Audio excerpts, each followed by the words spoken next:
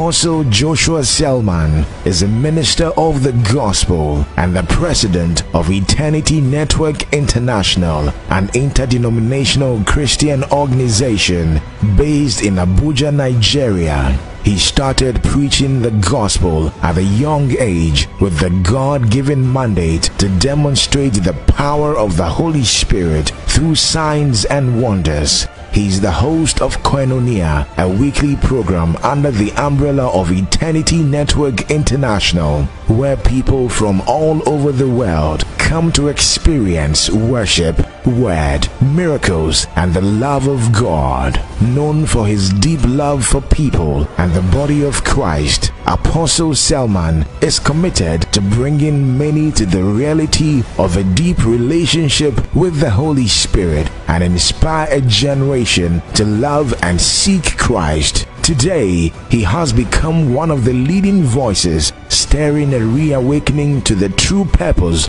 of the kingdom of God. IPG 2023, all the way from Abuja, Nigeria. Please welcome Apostle Joshua Selman.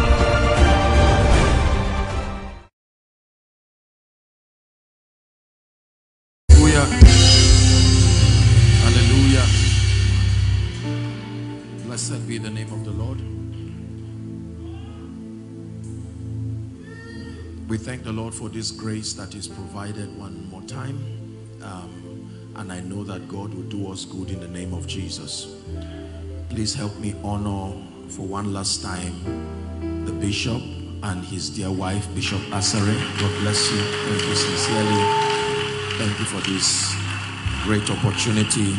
And then um, the presiding bishop, alongside all the men and women of God who have come, please help me one more time. Give them big God bless you. It's an honor. God bless you, sir. In the name of Jesus Christ. There were many people who were close to Jesus.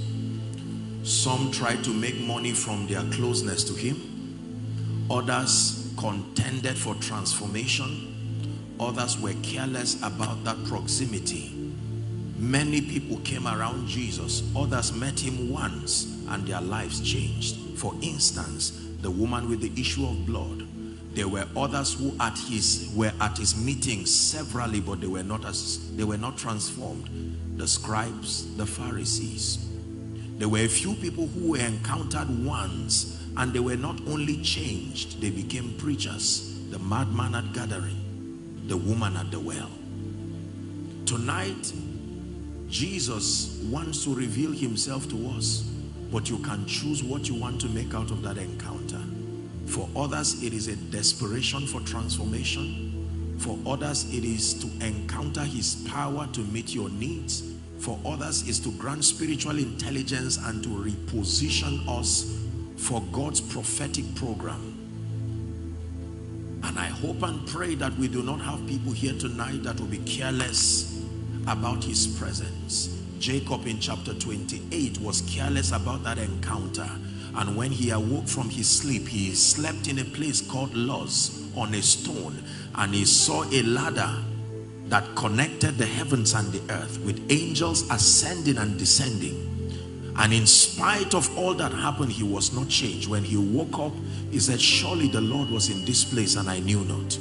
What would follow Jacob was over 20 years of tragedy in the house of Laban. By the time we get to chapter 32, another chance was to be given to him. The Bible says he dismissed all his wives. He dismissed his cattle when he was alone. Then a man came and he said, no, this time around, I will not let you go. He said, leave me for the day breaketh. He says, I will not let you go unless you bless me. And he says, what is your name? He says, Jacob. He said, thou shalt no longer be called Jacob, but Israel. For as a prince you have had power with God and you have prevailed.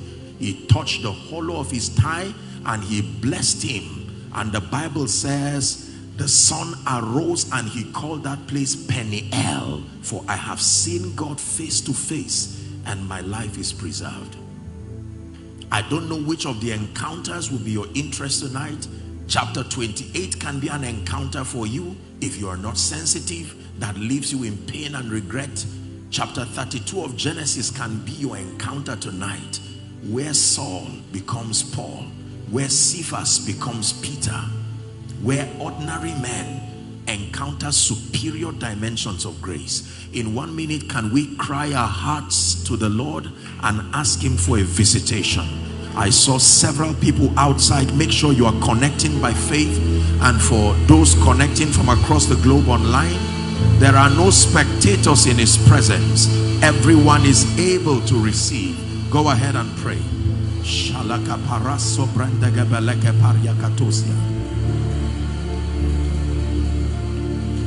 Sati pala sobrandaf kaskede balakatoshi avras.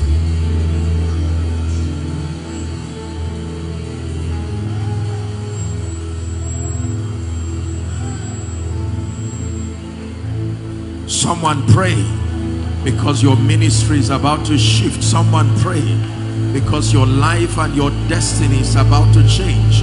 The Bible says, now the Lord is that spirit and where the spirit of the lord is there is liberty says we all with faces unveiled beholding him as in a mirror we are changed from glory to glory even as by the spirit of god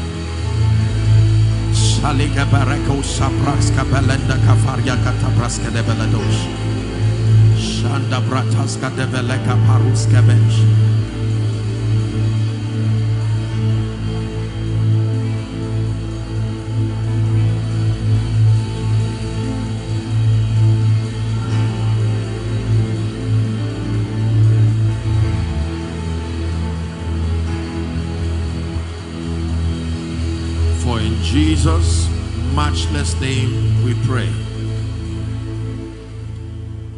Lion of Judah, the Lamb upon the throne, we hail you most high. Lion of Judah, the Lamb upon the throne.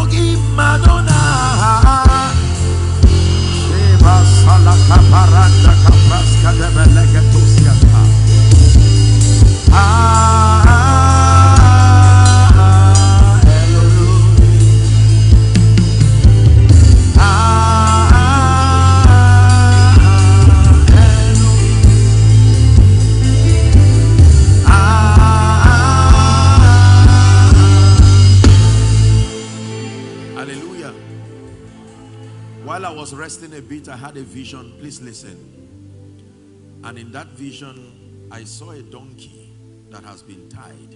And the scripture that came to me was when Jesus was about to have a triumphant entry. He says, go to the street where the rivers divide or where the roads divide. And there you will see a colt that no man had ridden on. That colt is a strategy. That colt is a mystery. There are many, many, many people who will have the privilege to ride on colts that no man has ridden upon because there is a triumphant entry. Let me explain to you what that means. That colt does not have to be a physical donkey for you.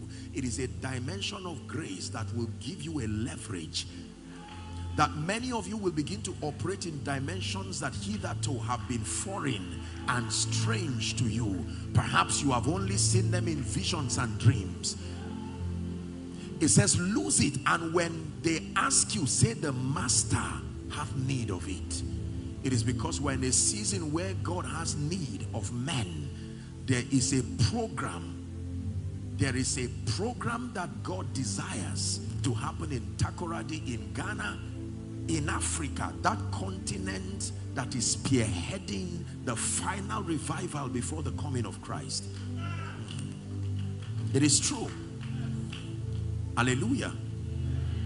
And when I saw that, I understood what that meant. That someone who was on his way coming for this meeting did not even know that he was coming to collide with prophecy. That the things you have seen the things that have been told you perhaps are about to find expression. In Luke chapter 4, the Bible says that he stood up for to read and the scroll of Isaiah was given to him. And there he read the messianic prophecy, Isaiah 61. When he was done, the Bible says he closed it and kept it and their eyes were fastened on him. And he said, this today is this scripture fulfilled when Isaiah was writing, he had no idea who he was writing about. But Jesus now came to embody that prophecy. There are many of you, when certain prophets prophesied over Ghana, they didn't even know it was you they were talking about. You will become an embodiment of ancient prophecies.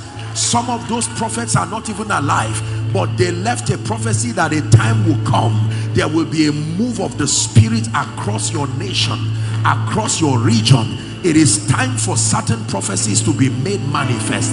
And someone God brought you here and picked you here because it is time for your life time for your ministry to become an embodiment of prophecy. If you believe that say amen. Therefore I beseech you that within the next few minutes we'll be spending in the word before we pray please let your heart and your spirit like bishop admonished us be opened. when God comes there are no executives in his presence. Everybody trembles before the king. And do not make the mistake of Martha Martha was worried about many things, mundane things, and she was offended that Mary was not assisting her. And Jesus said, Martha, Martha, you are worried and offended about many things, but one thing is needful, he said, and that is what Mary has chosen, to sit at the master's feet. When it was time to serve them bread, he said, let all of them sit down. If you cannot sit down, there is no bread for you you have to sit down and leave all the i know you need money i know you need your bills paid but now in his presence that superior investment of giving him your dedicated attention is the key that will bring rest to you roundabout are we in agreement? Please be seated. God bless you and good evening everybody.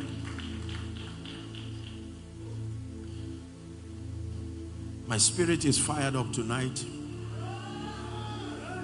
and I believe that God is going to do us good. In the name of Jesus Christ. Two scriptures, then a final charge, then we pray.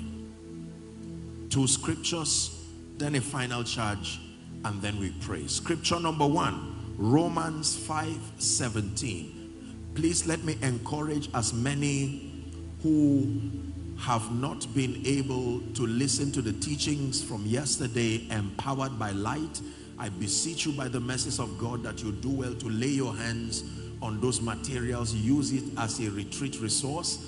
And for those of us who could not make it this morning, please, you would want to listen to what the Lord brought for us this morning. The purpose of the word of God is to bring enlightenment. Remember yesterday, Galatians 2 2. I went up by revelation.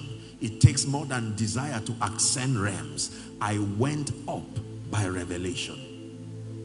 Isaiah chapter 60 and verse 1 says, Arise, shine, for your light is come, and the glory of the Lord is risen upon you. Amplified says, Arise from the depression and the prostration that circumstances have kept you. It says, Rise to a new light. Hallelujah. Praise the name of the Lord. So let's do Romans chapter 5 and verse 17. Paul is speaking to the church in Rome for if by one man's offense death reigned by one, how much more they which receive abundance of grace, number one, and then the gift of righteousness shall reign.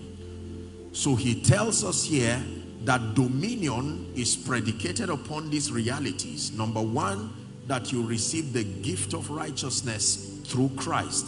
And the Bible tells us how men receive the gift of righteousness and how they become the righteousness of God in Christ Jesus. Hallelujah. That it is only in and through Jesus, the new and living way, that men become the righteousness of God in Christ Jesus. The Bible says Christ has redeemed us from the curse of the law, being made a curse for us, for it is written, Cursed is every man that hangeth upon the tree, that the blessing of Abraham, justification by faith, might come upon we the Gentiles to the end that we might receive the promise of the Spirit through faith. So this is what the Bible teaches. That our being called the righteousness of God ushers us to now access the life of God, this Holy Spirit, and the Bible said many things about the Holy Spirit. Among them, he said, I have many things to tell you now, but ye cannot bear them. He said, How be it, when he, the Spirit of truth, is come, he will guide you into all truth. Hallelujah. He says, No eye has seen, no ear has heard, neither has it come into the comprehension of man that which God has in store for them that love him. He says, But but there is an exception. Hallelujah. That the Holy Spirit has revealed these things to us because he sustains the ability to search even the deep things of God. So the Bible says, if by any chance you access the righteousness that is in Christ Jesus, and that comes as a result of declaring his lordship in your life, Peter was speaking on the day of Pentecost and he rounded up his sermon by saying, let it be known unto you that this same Jesus whom you have crucified have today been exalted as Lord and Christ. The Bible says when they heard, they were caught to the heart and they said, men and brethren, what do we do? He said, repent for the remission of your sins. Are we together?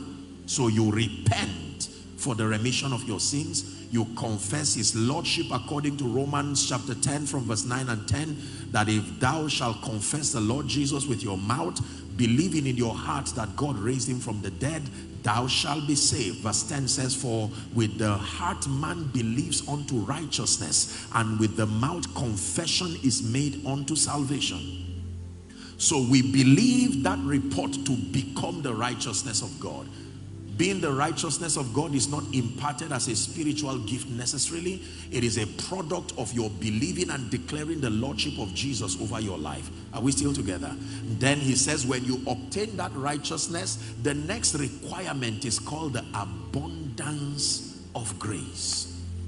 That if you want to reign in life by Christ, the righteousness of God in Christ Jesus through the new birth, then your next port of call becomes obtaining grace in abundance. Are we together? And Apostle Peter was teaching us how grace operates in the life of the believer. He says, grace and peace be multiplied unto you. Are we Bible students? Through the knowledge of our Lord Jesus Christ. And it says, according as his divine power hath given us all things that pertain unto life and godliness through the knowledge of him that has called us into glory and virtue. It says, whereby are given to us exceeding great and precious promises, that by them we might be partakers of his divine nature, having escaped the corruption that is in the world through lust. So we understand from scripture that grace and peace is multiplied through knowledge. You don't look for grace by looking for grace. You look for grace by searching for light. Are we together? That when you obtain light, and I told you that light in the spirit represents three things. One, knowledge. Two, manifestation. Three, glory. Everything that makes manifest, the Bible says, is light. Are we still together? When you obtain the gift of righteousness and then the abundance of grace. The abundance of grace means the abundance of revelation because the kind the quality and the dimension of grace that you carry upon your life is directly proportional to the level of light that you have access to. Hallelujah. Do you believe that? Yes. Jesus one who was anointed without measure was one who was knowledgeable without measure. He contended for truth. From age 12, he was at the temple learning. learning and for the next 18 years of his life he submitted himself to knowledge by the time jesus shows up to begin his ministry he's 30 and every confrontation that came he said it is written from the residue of his knowledge no wonder john said he was full of grace and truth. Hallelujah. Are we together? So it's important for us to know that if we are to walk in dominion we will need the abundance of grace. That means as you have submitted yourself through all of these days, learning light after light, what you are actually accessing is the grace the empowerment. Hallelujah. You will turn back and find out that the level you were spiritually before this conference began, you can't find it again because you would have evolved like an insect evolves from egg, larva, pupa, adult. You would have access certain possibilities that were not in your life. Hallelujah. Second scripture. First Timothy 4 and verse 15, 15 and 16. Paul was mentoring his son in the gospel Timothy and he had a very instructive admonition. May I request that we please read together if you can see it. Ready? Read. Meditate upon these things. Uh-huh. Give yourself wholly to them that thy profiting may appear unto all. Let's do 15 again. One to read, please. Meditate upon these things. Give thyself wholly to them that thy profiting may appear unto all. Let me read verse 16 now. It says, Take heed unto thyself and unto doctrine. Continue in them. For in doing this, thou shalt save both thyself and all them that hear thee. Hallelujah. So he's admonishing Timothy and he says, meditate on these things. What things? The body of knowledge that I've brought to you. Meditate on these things. He calls them marvelous light. A body of spiritual knowledge that is able to empower a believer. He says, meditate on these things then the instruction is give yourself wholly. Not doubting, not half-heartedly. Give yourself wholly to them. Give yourself wholly to the revelations, the lights that you have received. All that you have been taught. Immerse yourself in them. And it leaves you with an assurance that your profiting will appear the product of that light and the grace that has come from that light will compel the dexterity, the excellence, the beauty, the glory that emanates from your life. It says it shall appear unto all. That sounds like Matthew 5 and verse 16. Let your light so shine before men. It says that they may see your good deeds and glorify your Father which is in heaven. Hallelujah. So I want to give you a final charge and we'll pray. Tonight is a miracle and impartation service. But I just thought to give this final charge.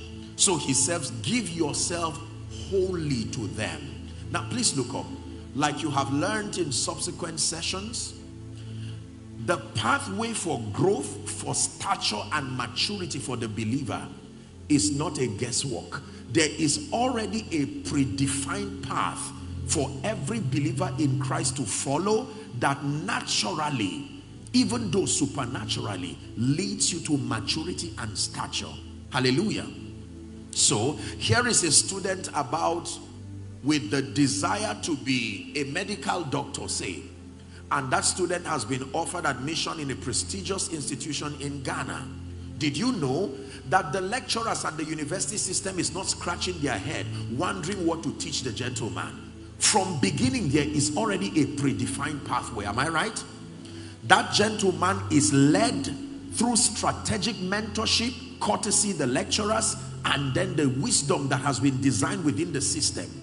And his assignment is to submit methodically from 100 level 200 level and it continues until he gets to medical school. And after six years all things being equal that once naive student suddenly his name and his status is upgraded in one day and he's now called doctor The same hospital that would have driven him away six years ago now receives him and he's qualified to now begin to operate a few people. Let him continue with that diligence. And after 10, 20 years, the once naive student is now called a consultant, perhaps a professor of medicine and he becomes one of the rare authorities globally speaking that when there are delicate surgeries to happen regardless where he is on earth he can be consulted. What do we do about this? What changed? It may not be his size. What changed? It may not be his voice. He passed through a methodical system versus someone who just believes he has the talent to cure sick people when your relative is really sick, you don't go there. Are we together? Because you are looking for someone whose understanding has been constructive. Most believers do not attain maturity because we largely freelance the knowledge that we want. So we handpick little of prayer here, little of fasting here, little of revelation here, little of giving here, and we have true but inaccurate and many times disjointed imbalanced revelations and they form a portrait of a believer that is not a beauty to behold. This is the tragedy with many believers so we know something small about prayer. We know something small about fasting. We know something small about scripture. We know something small about ministry. And with the limited revelations for many of us, we put it together and it becomes the ladder upon which we stand. Only that you find out that everything is shaking. And then the sad thing is we invite others to climb the ladder with us in that confusion and inaccuracy. And sometimes it breaks, crumbling everyone down. Jeremiah 6 16. The Bible says, Jeremiah 6 16, Thus saith the Lord, Stand ye in the ways and see, and ask for the old paths, wherein is a good way, and walk therein, and ye shall find rest for your souls. It says, But they said, Will not walk therein. This message is for everybody, but particularly and with all due respect I honor every man and woman of God here represented. But let me give one charge very quickly and then we'll talk to everybody. Jeremiah 3.15 says, And I will give you pastors or shepherds according to mine heart that will feed you with knowledge and with understanding. The spiritual maturity in any territory is mercilessly a reflection of the kind and the quality of spiritual voices within that territory. This is true. So if Takoradi has powerful people, spiritually speaking, the credit goes to God, but it also goes to the kind and the quality of spiritual voices that feed the individuals. You can literally assess the quality of the voices within a territory by random sampling believers and testing their understanding with respect to doctrine. Hallelujah. The word doctrine comes from the Latin word doctrina. It means it is a set of beliefs that turns a disciple to be as dexterous as his master.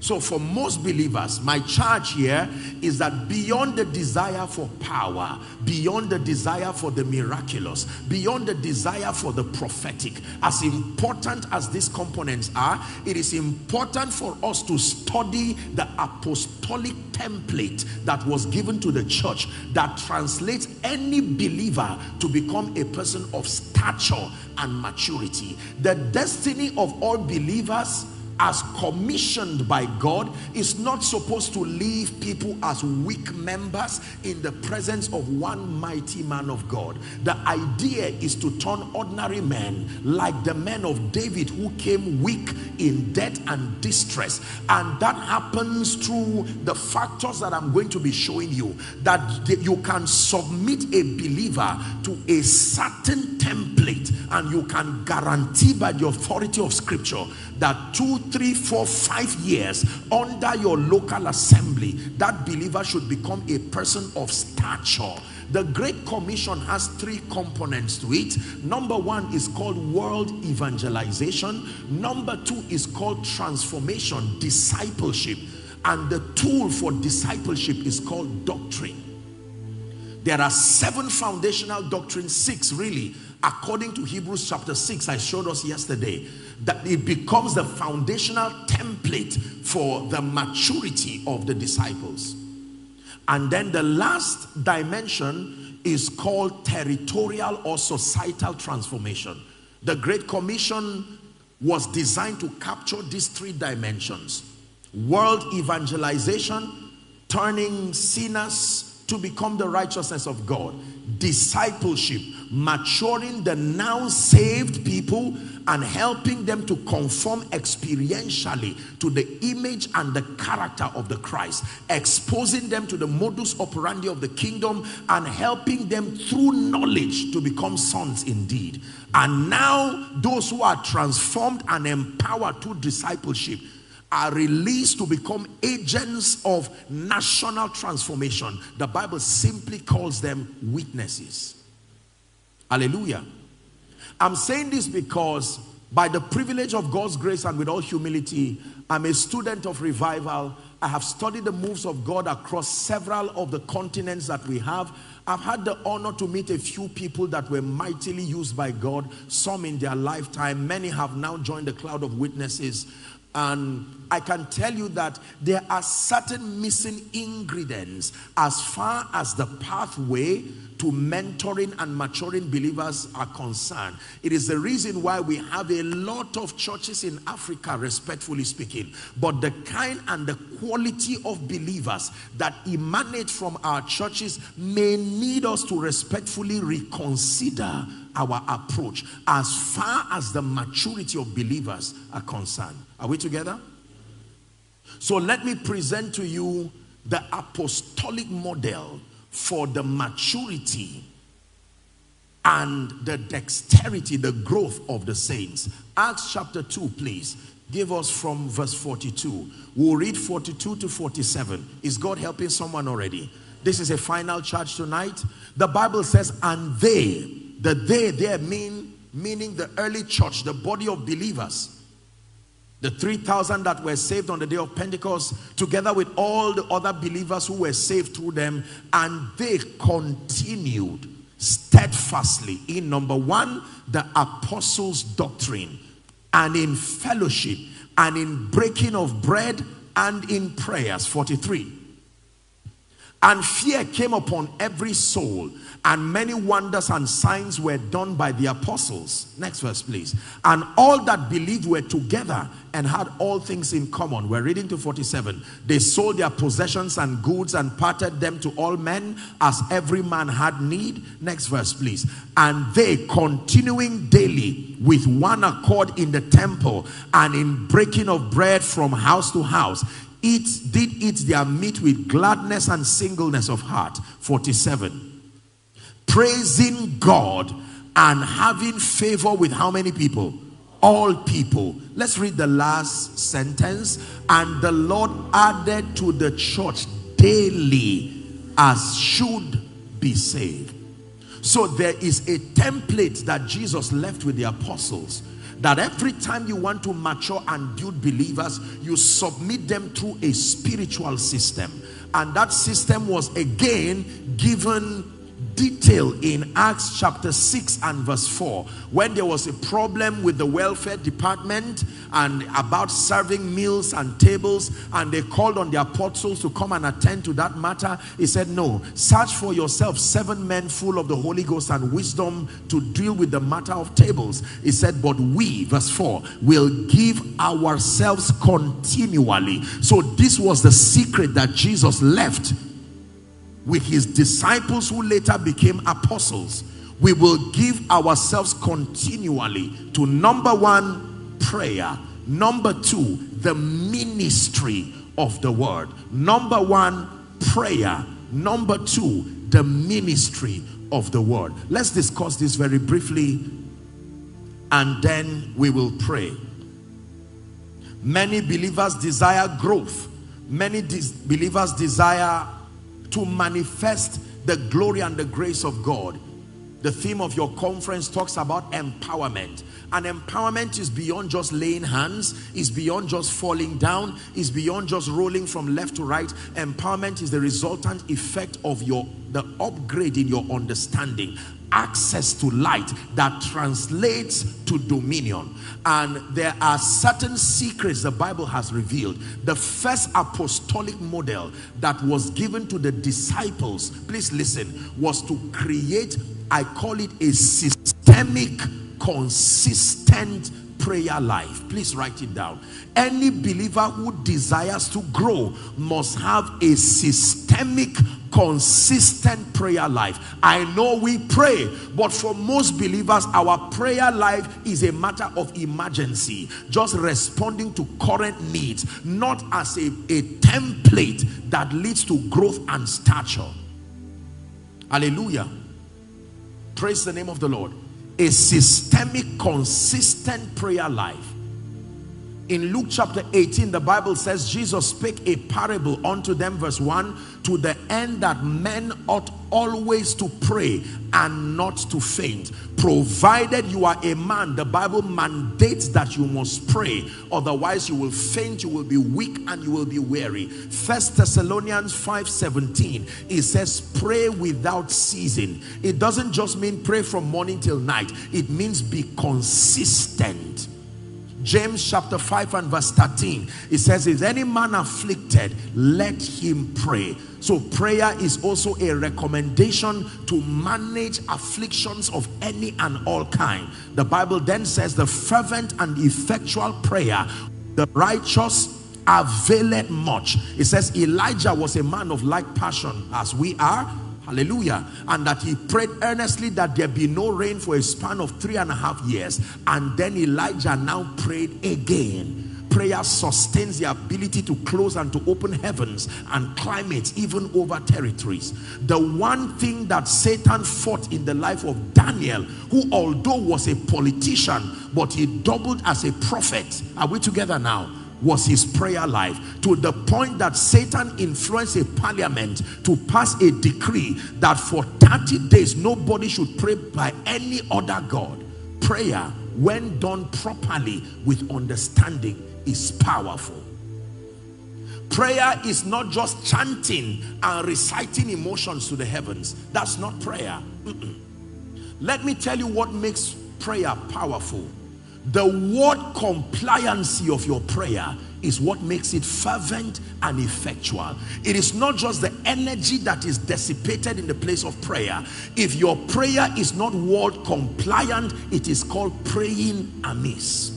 Praying amiss is praying out of the jurisdiction of prayer. In fact, Apostle John says it this way, and this is the confidence that we have that if we ask anything according to his will, so the epicenter, the focal point in the believer's prayer life is the will of God. Because the assignment of the power of God is to bring all things into the will of God. The power of God is not designed to act against the will of God. So when you are asking for anything outside the will of God, the power of God cannot respond and attend to that prayer. The assignment of the power of God, I repeat again, is to bring all things in conformity with the will of God. Are we together? Strategic prayer. Believers in Ghana, in Africa, if we must become that mighty army that Ezekiel 37 talks about, we must be men given to prayer. Prayer is not for prophets. Prayer is not just for apostles. Prayer is not just for those called in the fivefold ministry. It is mandatory that all believers be mentored to, through discipline in partnership with the Holy Spirit, to create an intelligent, systemic approach to your prayer life. Why do you need to create a systemic approach? Because our activities differ, our age ranges differ. Are we together? A young man of say a teenage and early 20s may have a lot luxury of time and flexibility of so many things because he most likely is under the care of guidance or parents. And so he can afford to stretch and do certain things. But a man who is a leader a father of many children are we together? Attending to certain needs may not use the template of that young man. So creating a systemic prayer life is not just an impartation from God. It takes discipline and intelligence The strategy you used 10 years ago, you cannot use it now that God has made you an overseer. Your schedules are busy. You have a number of things to do. You have to redesign a prayer template that suits the reality of your life here and now. Most believers pray circumstantially. Most believers pray emotionally. When you read Acts chapter 3, the Bible talks of Peter and John that they went to pray at the hour of prayer. There was time they dedicated through discipline called the hour of prayer. I'm doing a charge. I don't have the time. I would have shown you the four assignments of prayer as revealed in scripture. Can I give you in summary? The first assignment of prayer as revealed in scripture is for growth and transformation. This is the highest assignment of prayer. For most believers, prayer for us is simply a tool for warfare or to get petitions. That is powerful. But the greatest assignment of prayer is for the personal edification and the transformation of that believer. Luke chapter 9 and verse 29. The Bible says, And as he prayed, the fashion of his countenance was altered, and his raiment became white and glistening. The he being Jesus. As as he prayed, this is what happened to him. The fashion of his countenance was altered, transformation, and his raiment became white and glistening.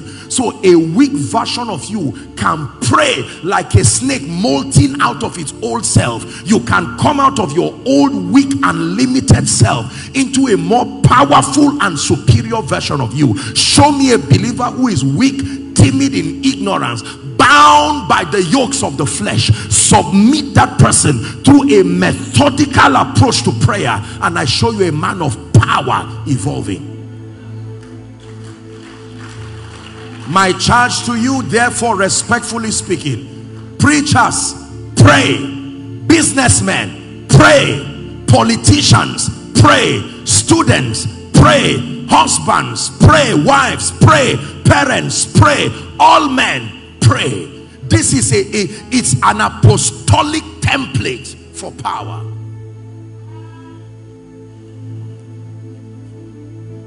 He gave us a prayer language to the intent that we be edified. First corinthians chapter 14 and verse 4 that he that speaketh in an unknown tongue edifieth himself. Edifieth himself. Jude 1 and then verse 20 says, But ye beloved, building yourselves on your most holy faith, praying in the Holy Ghost. Submit yourself to prayer, ladies and gentlemen. Submit yourself to prayer. So number one, the first assignment of prayer is for growth and transformation. Number two, the second assignment of prayer is for obtaining requests and making petitions. Obtaining requests prayer is the authorized platform as revealed by scripture revealed by jesus to obtain requests and to make petitions. It says when ye pray pray in this manner our father. Then it says give us this day our daily bread. That means when you want to make petitions and obtain requests it happens in the place of prayer Mark 11 24 and what things soever ye desire it says when ye pray not if ye pray desire must be connected to prayer for you to have a manifestation. What things soever ye desire when ye pray believe that thou receivest them and it says thou shall have them. You believe that so we must obtain grace. One of the graces I'm praying that will rest on someone tonight is a genuine spirit of prayer and supplication. The ability to hold on to the horns of the altar and to pray until you evolve and to pray until certain petitions touch the heavens. Prayerlessness is pride if you are prayerless you are arrogant because it means you are declaring independence from the government of heaven. That every time you do not pray is a declaration of self-sufficiency outside of the assistance of heaven. The highest proof of humility as revealed in scripture is to be prayerful. When you submit yourself to prayer it is proof that you are aware that I am incapacitated by myself assignment number three. What is the third assignment of prayer? Are you ready? For creation and spiritual legislation. The bible says and thou a thing and it shall be established unto you. It says where the word of a king is there is power for creation and spiritual legislation. What does that mean? To pass decrees and program the spiritual climate over your life and over territories to conform to the will of god I prophesied as I was commanded. And the Bible says there was a sound. There are men and women who if you understand this dimension of prayer right from where you are Elijah did not go to a radio station. Right from where he was standing he passed a decree and the spiritual climate over the then world answered to one man.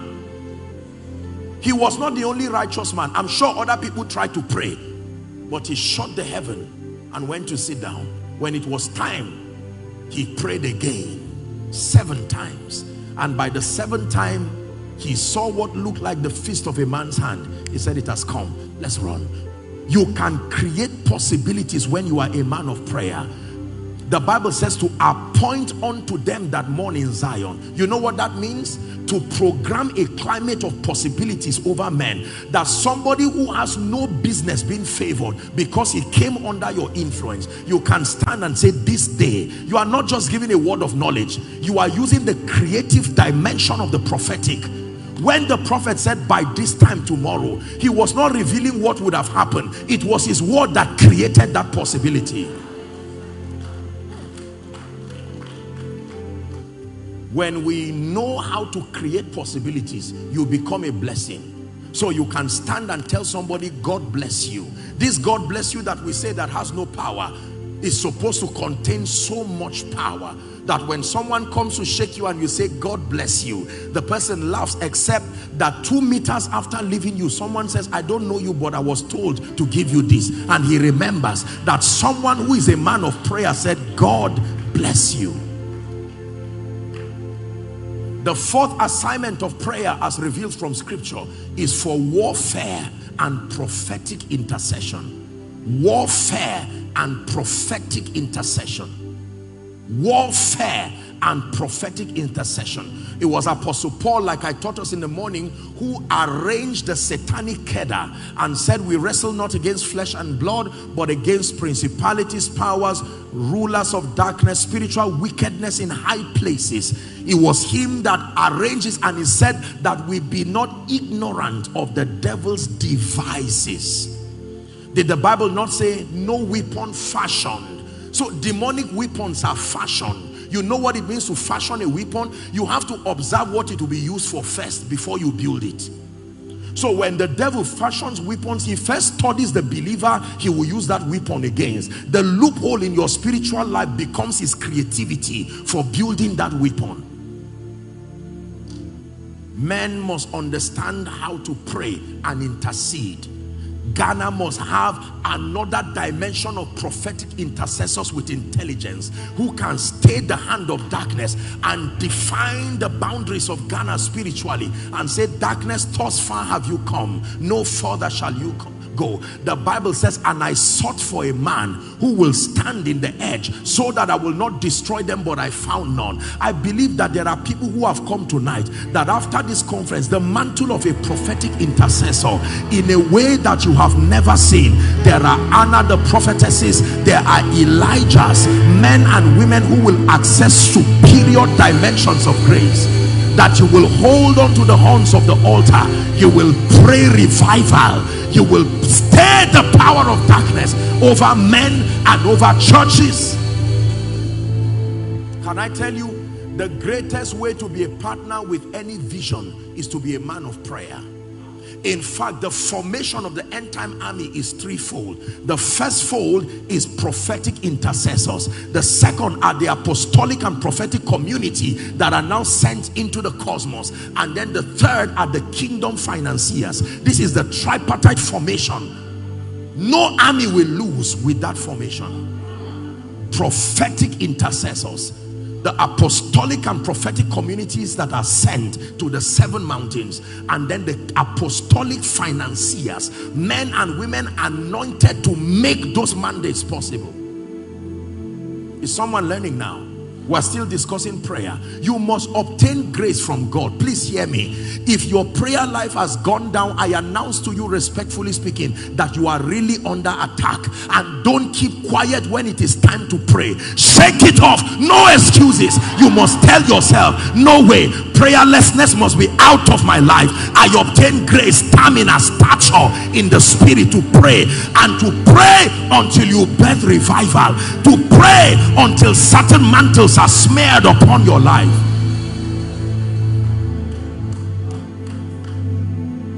Are we learning now? You must obtain grace to pray. Pastors let us teach our people to pray and to pray with understanding I repeat one more time the word compliancy of your prayer is what makes it fervent and effectual. No matter the kind of energy that is dissipated in the place of prayer as well intentioned as that is if your prayer is not word compliant what does that mean? That you are praying according to the will of God. So the Bible says watch and pray. There is intelligence that must be deployed. Watching uses the mind uses your eyes. You need light to pray effectively. Hallelujah. The disciples were not prayerless. They said, teach us to pray. The issue was not prayerlessness. The issue was that their prayer was not producing results. And they said, we noticed something about your prayer, Jesus. Everything you said come to, came to pass. Teach us, what is the formula? And Jesus began to teach them what we know to be our Lord's Prayer and there's no time to discuss that. But that you see in Matthew now Matthew chapter 5 6 it was a, a template that he was giving. Our father I said pray in this manner our father. That means you must approach God as Abba, Pater, Father. Father means source, sustainer, defender. You do not have plan b and come to god. When you come to god you must come understanding. Hebrews chapter 11 and verse 6 says without faith it is impossible to please him. For he that cometh unto god must come believing that he is he exists and that is the rewarder of them that diligently seek him. That is the implication of our father. Who art in heaven meaning your prayer would demand faith because it's in a dimension that is not earthly. Then he says hallowed be your name that you must approach him with the spirit of reverence knowing that although he's your father he is god. To hallow his name means to know that his power is captured in all of his names. God hides his power in his names. Then he says thy kingdom come in order of priority your petition should be your kingdom come. Because the reason why you are even asking for bread is because the kingdom has not fully come. If the kingdom comes you would not need to say give us this day again. Because the culture of the kingdom mandates that it comes with all its supplies. Are we together now so while he's saying pray for your needs and everything, he's saying the fact that you have to request those needs is a deficiency of something bigger that the culture of the kingdom is yet to be imported in its strength. Let's stop there. Number two, let's talk of the ministry of the word.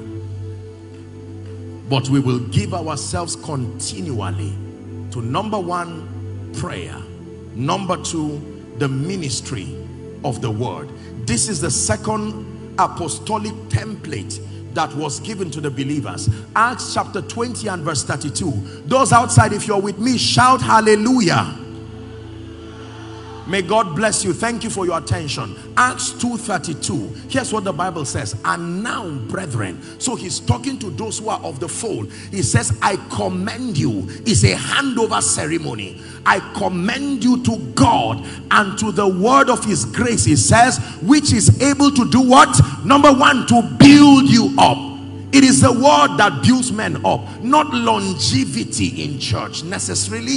It is the word, an encounter with the word as the logos of God that builds you up and then to give you an inheritance among them that are sanctified.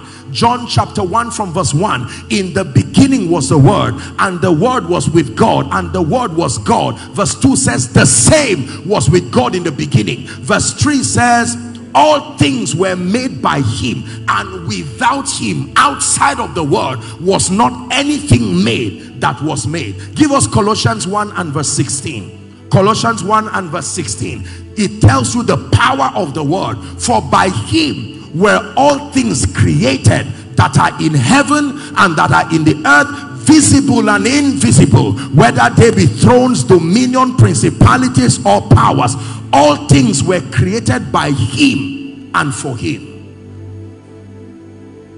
hallelujah the word of God is very important and that from a child thou hast known the holy scripture which is able to make you wise even unto salvation. Paul prayed from his heart over the church in Ephesus in Ephesians chapter 1 when we begin our reading from verse 16 that the eyes of the believers understanding be enlightened. It was a prayer a passionate prayer for the church. Ephesians 1 from verse 16 that I cease not to give thanks for you, making mention of you in my prayer. Paul was prayerful. 17. It says that the God of our, our Lord Jesus Christ, the Father of glory, may give unto you the spirit of wisdom and revelation in the knowledge of him. I like 18. The eyes of your understanding being enlightened that ye may know what is the hope of his calling and what is the riches of the glory of his inheritance in the saints. 19 says and what is the exceeding greatness of his power to us word who believe? Ladies and gentlemen please hear me. I want you to get on a project to damage spiritual ignorance in your life. Make it a project. Learn doctrine. Stay with the word Hallelujah.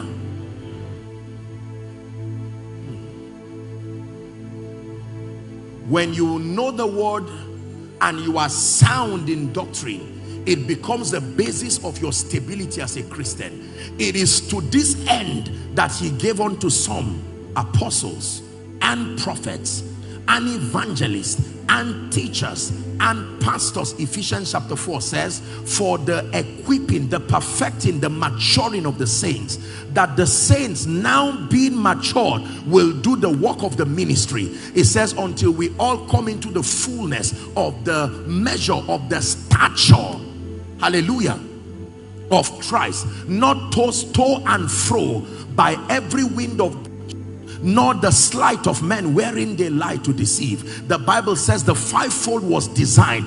It was a strategy, God's own design to help the body of believers to become dexterous and matured, learning doctrine.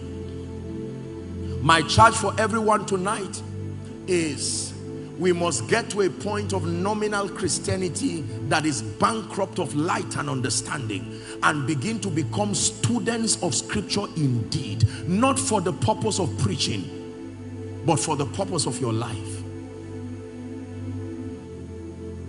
Thank God for the prophetic. Thank God for prophecies. Thank God for impartations. You are about to receive one shortly. But can I tell you I told you yesterday it is written is greater than I saw. It is written is greater than I heard. Mm -mm. it is written is what confirms I saw and I heard. If I sleep and I wake up and I see myself in a coffin the first thing I'm going to do is I know the, the, scriptures like arrows will build a system of defense around you. And on the strength of that you can take care of that which you have seen. The average believer does not know what to do with attacks from the enemy because we have not been so equipped. This is why we keep burdening men of God. You see young people looking old because everyone wants to meet them for prayer. As much as wonderful as that is no man can survive that kind of pressure. But when believers are shown the light with dexterity and power there is a dimension of upgrade and stature and power the more we teach God's people right the more we enter our Sabbath even as servants of God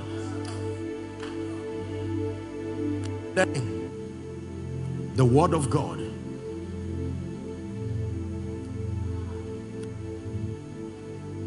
Ye err, not knowing the scripture, nor the power of God. Ye err. The word of God is so powerful, God names himself the word, the logos of God. Can I challenge you? There are many of us that need to close the gaps in our spiritual understanding.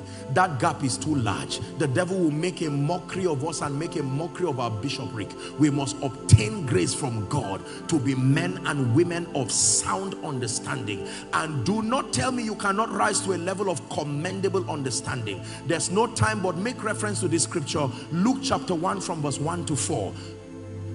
Dr. Luke was speaking and he was saying something profound to Theophilus. And he was saying as much as I have taken in hand to set forth in order a declaration of those things which were most surely believed among us verse 2 media has already tempted me. So let me fall into that temptation. It's a good one. Even as they delivered them unto us which were from the beginning eyewitnesses and ministers of the word verse 3 it seemed good to me also having had perfect understanding of all things from the very first to write unto thee in order most excellent Theophilus. Why? Read verse 4 together please. One to read.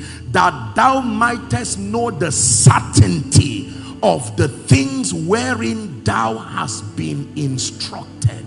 So you don't just believe it because pastor said you now know the certainty of it. So the day the man of God is not there with you the word of God is still there with you.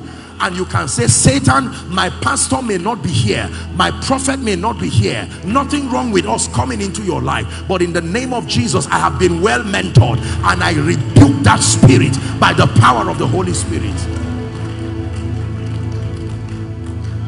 Ghana Africa there is a greater call for us to balance the prophetic and the apostolic advantage we have with the soundness of doctrine. The missing link in the kind of things that we're doing and this is generally and respectfully speaking it's been a long-term challenge especially with ministry in Africa. There is a greater call for a restoration of the dexterity of doctrine in addition to the gifts of the spirit. The gift of the spirit alone is like standing on one foot. You can't stand for too long. Doctrine is what gives you balance so that no matter where you are swayed left and right you see the challenge with many people, respectfully speaking, even the West, they have become people of supposed doctrine, but they have denied the power of God. So it's still standing on one foot. God is giving us the strategy for the end time the gifts of the spirit in all its entirety including the prophetic the miraculous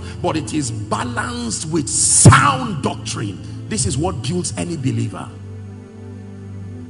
are we together Miracles and signs and wonders can draw the people to Jesus. It is discipleship through the methodical communication of doctrine that raises those people and matures them. A miracle can happen overnight, but transformation does not happen overnight. It is line upon line, precept upon precept. Here a little, there a little. Are we learning now? So ladies and gentlemen, we're about to celebrate the hand of God in a fresh dimension. But I needed to say this. Lest you be carried away by the manifestations and the miracles and forget that that which truly builds the saints is when they submit themselves to this apostolic model of prayer in all its dimensions and the ministry of the word. Then other supporting structures like your diligence in coming to the house of God. I told you that there is something about the regular convergence of believers in every city and in every territory. God so ordained that there must be local assemblies and apostolic and prophetic platforms that allows for the regular convergence of believers for the purpose of discipleship mentorship and maturity. Any territory that lacks local assemblies or apostolic and prophetic platforms intended to build and mature the believers cannot have matured believers within that territory.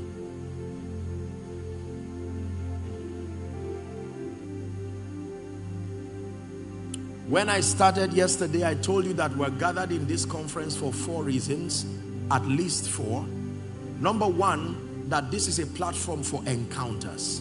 Number two, that this is a platform for transformation like you have received. But number three, I told you that in every prophetic gathering like this, there must be an opportunity for God to reach down to his people and to bring them miracles, signs, and wonders. The gospel is not complete until there is a manifestation of the miraculous. Romans 15, 19, I believe it is. Please give it to us. Let me be sure that that is the scripture. It just came to my spirit. Let's read together. If you're a Christian, ready? One to read. Through mighty signs and wonders by the power of the Spirit of God, so that from Jerusalem and round about Illyricum, I have fully preached the gospel. What made the gospel complete? The message and the power the message and the power. The message alone is not the complete gospel. Ladies and gentlemen it is the message and the power. Romans Acts chapter 8 I meant to say Acts 8 and verse 5 the Bible says Philip went down to Samaria and he preached Christ unto them. Verse 6 says and they gave the people gave heed with one accord hearing and seeing the miracles which he did. What were the miracles? Verse 7 it says for unclean spirits crying with loud voice came out of many that were possessed with them and many that were taken with palsies and that they were lame were healed. As a result verse 8 there was great joy in Takoradi. Great joy. Great joy So we have come tonight very touched and humbled by your commitment. I know that many of you have come here desiring God to visit you. Listen to me. This God that we serve is the all-powerful God it says, I have spoken once and twice have you heard that power belongeth to God. Ladies and gentlemen, let your faith be stretched from border to border because God wants to visit you now. Now is the moment where God begins to rewrite the stories of men's destinies. Now is the moment where age-long captivities, yokes and curses that have tied men, tied families, tied visions is about to give way because the Bible says now the Lord is that spirit it says and where the spirit of the lord is there is liberty. Upon mount zion it says there shall be deliverance and holiness and the sons of jacob shall possess their possession. The bible says when the lord turned again the captivity of zion we were like them that dream. Our mouths were filled with laughter and they said among the hidden the lord had done great things for us it says the lord had done great things for us whereof we are glad. Turn again our captivity it says like the streams of the Negev. Ladies and gentlemen, God is about to visit us as the mighty one the mighty terrible one. And if you are ready and expectant can you jump up on your feet and begin to pray in the spirit? A prayer of desperation and expectation. Someone is praying. Someone is praying. By the power of the holy spirit someone is praying. Outside make sure you pray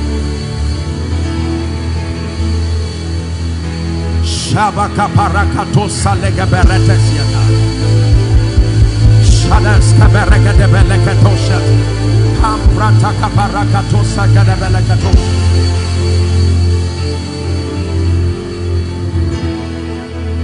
Pray. Your ministry is about to be shifted. You are entering the apostolic and prophetic era of your ministry. Something is about to descend from heaven and rest upon your life.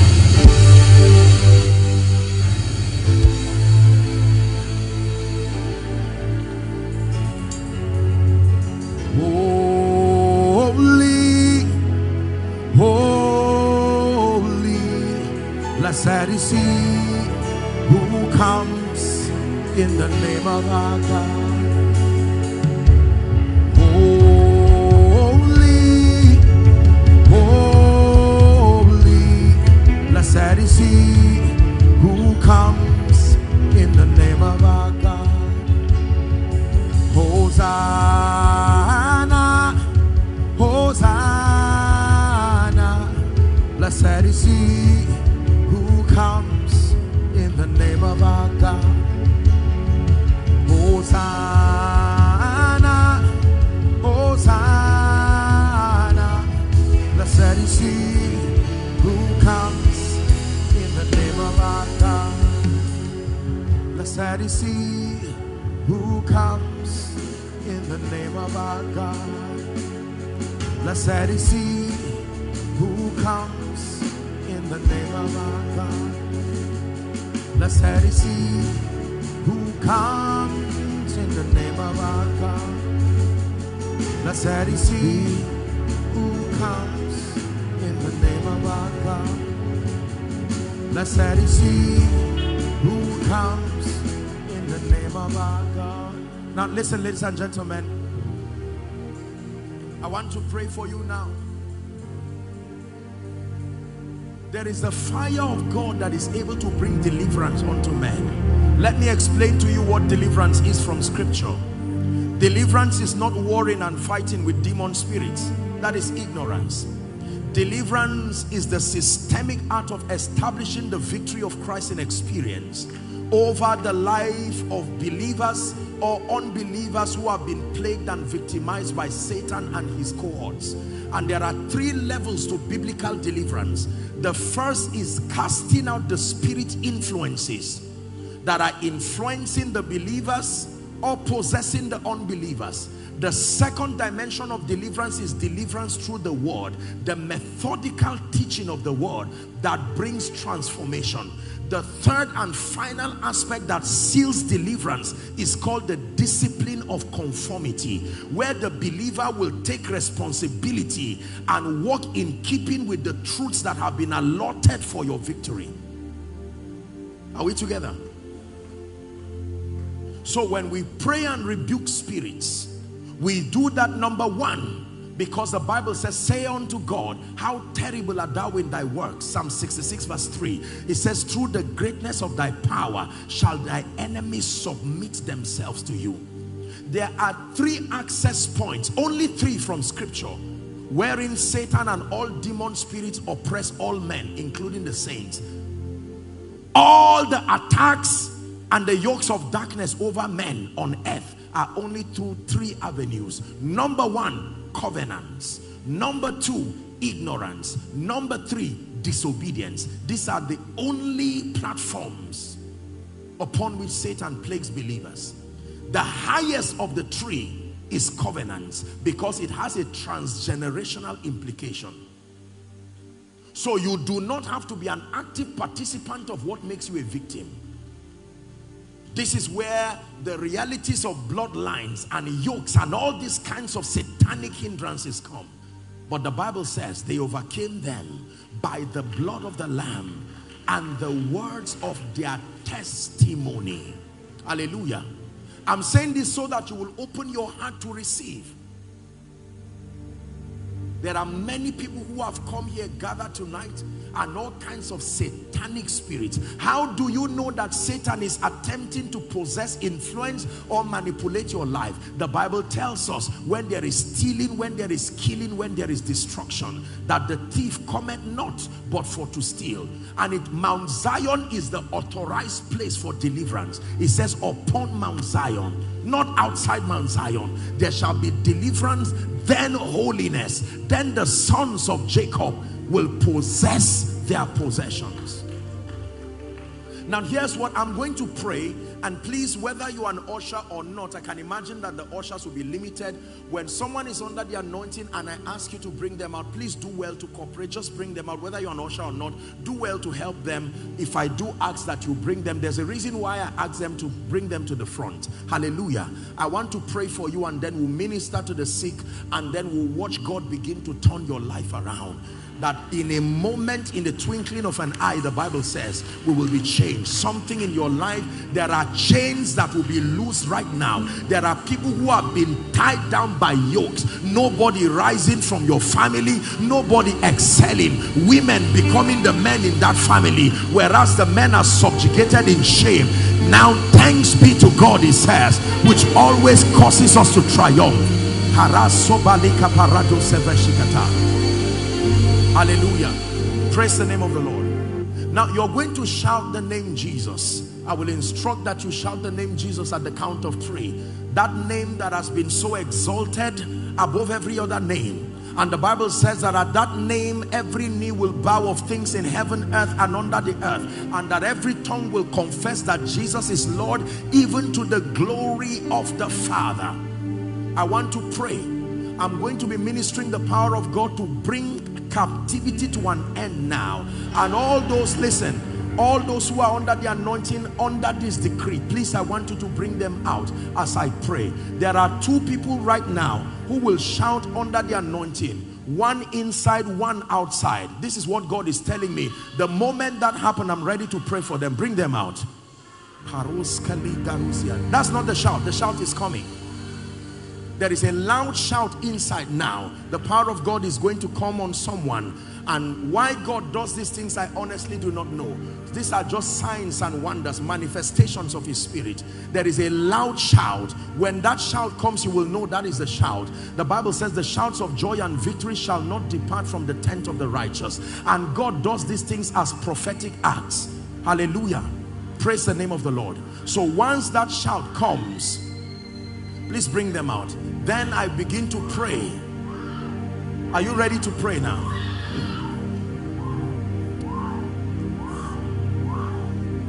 Thank you, Jesus. At the count of three, I want you to shout the name Jesus. And as you shout that name, I'm seeing chains. I'm even hearing the sounds of chains. Chains that have been tying men. It's time for you to be free now. Father, I come by this apostolic and prophetic mandate and in the name of Jesus over Takoradi I decree and declare that every gate and every ancient door that has tied down lives, tied down ministries, I come by the rod of a higher priesthood and I decree and declare in the name of him who died and rose again that at this shout, let every chain that has bound you give way now. Are you ready at the count of three? One, two, three. Shout Jesus.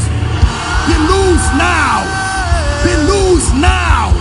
Be loose now. Bring them out. In the name of Jesus, I decree and declare every covenant, yokes of ancestry, manifestations of darkness, in the name of Jesus, the Lord rebuke you. The Lord rebuke you the Lord rebuke you. The Lord rebuke you. The Lord rebuke you. The Lord rebuke you.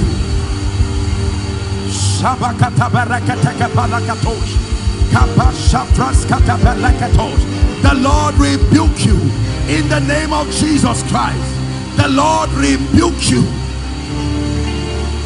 Hallelujah. Now the Lord is showing me a vision. I'm seeing the feet of people tied with chains and the Lord is saying I should lose it. I don't know where that person is. In the name of Jesus let that fire rest on you now.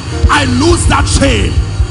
I I lose that chain right now.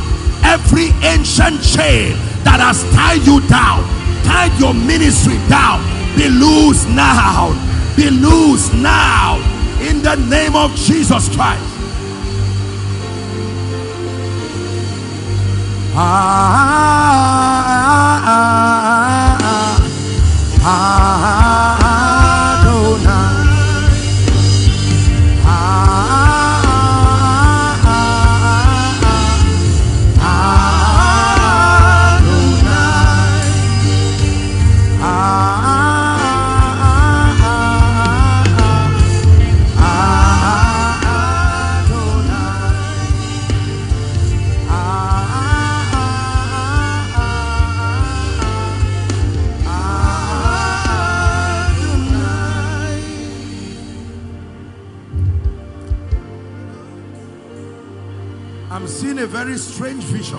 Listen, I'm seeing this your ocean, this your river.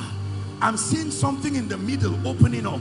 And I'm seeing something come out like a sea creature. And the Lord is saying to destroy Leviathan. In the name of Jesus I stand by the apostolic and the prophetic that every spirit over this climate lift up your heads all ye gates and be ye lifted over Takoradi In the name of Jesus, I stand in partnership with all the men of God here and we make proclamations. Every spirit that has tied destinies down, covenants with the waters, covenants with the earth, let Dagon fall before the ark. Let Dagon fall before the ark.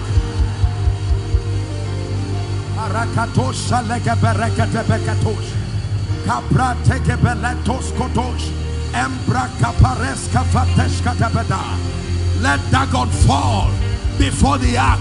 Let Dagon fall before the ark. Let Dagon fall before the ark in the name of Jesus Christ. Now, hear me.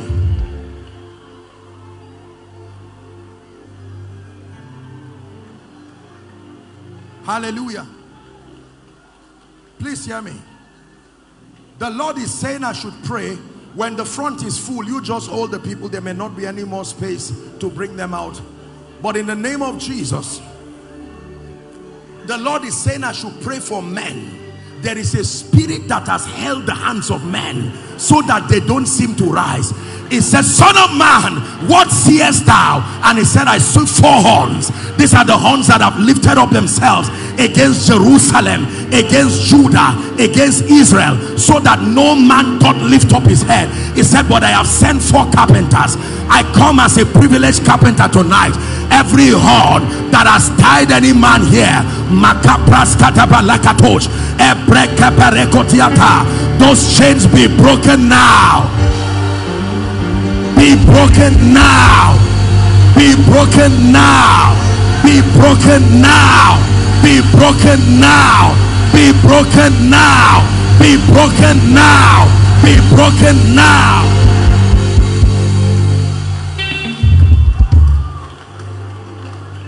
Hallelujah the lord is asking me to rebuke a spirit that does not allow ministry to rise Hela shalika sobarita siata. Grante baraka barakatosh kavraska belege baritas. Jesus said, and I, if I be lifted up from the earth, I don't know which man of God is sincere but has struggled because it looks like these horns want to keep you down. In the name of Jesus, by the power that raised Christ from the dead, every ceiling over your ministry, every ceiling that is frustrating you, I decree and declare I push you to the next level of your prophetic assignment. I push you by the Spirit in the name of Jesus. In the name of Jesus. In the name of Jesus. Are you ministers of the gospel? I saw fire coming on you. I stretch my hands. Let that grace rest on you now. Take that grace now. In the name of Jesus Christ. Take that grace now. In the mighty name of Jesus. Power within your spirit to excel, to rise, to thrive. Everything tying you down, be loose from it now. Hallelujah. Please listen. In Judges chapter 6, when the angel of the Lord came and met a young boy called Gideon, he told him, he said, thou mighty man of valor and Gideon said no I am the least in my father's house. Ah, yeah, yeah, yeah, yeah. and he said my father's family is the least. I said that to describe somebody in this meeting that you may think you are the least but fire is coming from heaven oh Gideon where are you? Arise. I call you by the voice of prophecy. Gideon arise.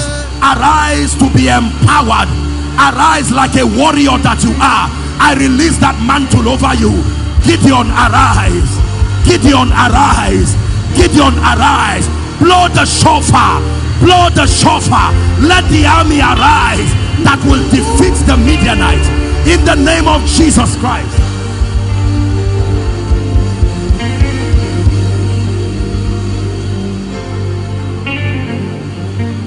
But thou, O Lord, art a shield for me. My glory, you lift my head. But thou, O Lord, art a shield for me my glory.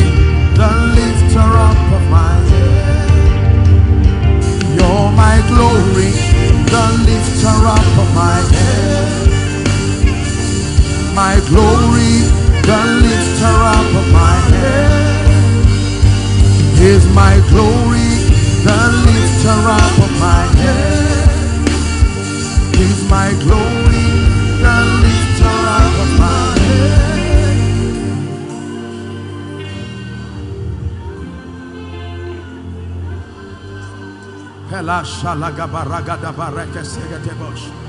Krada balaka fraska da belege sobraska nigadesh. Shavrasaka da beleke tapranda gabarakush. Now hear me. The Lord is saying I should prophesy to you that there are going to be seven prophetic worshippers. Please hear me.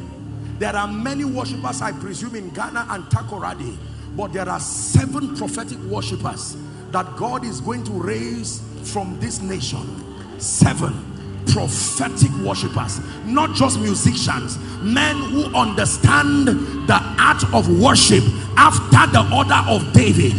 Worship is a ladder in the spirit. Seven prophetic worshippers. There is a grace that is mantling men and women who have been called into the ministry of psalmistry. I know that some of you are here. You are called into the ministry of psalmistry. I want to translate you today from being a musician to being a worshiper. There is a difference. Let that grace rest on you now. Take that fire. Oh, you will write the songs of Miriam. Miriam said, I will sing unto the Lord, for he has triumphed gloriously. The horses and his rider has been thrown into the sea. Receive the grace to write songs, songs of revival, songs of power, word compliant songs in the name of Jesus Christ.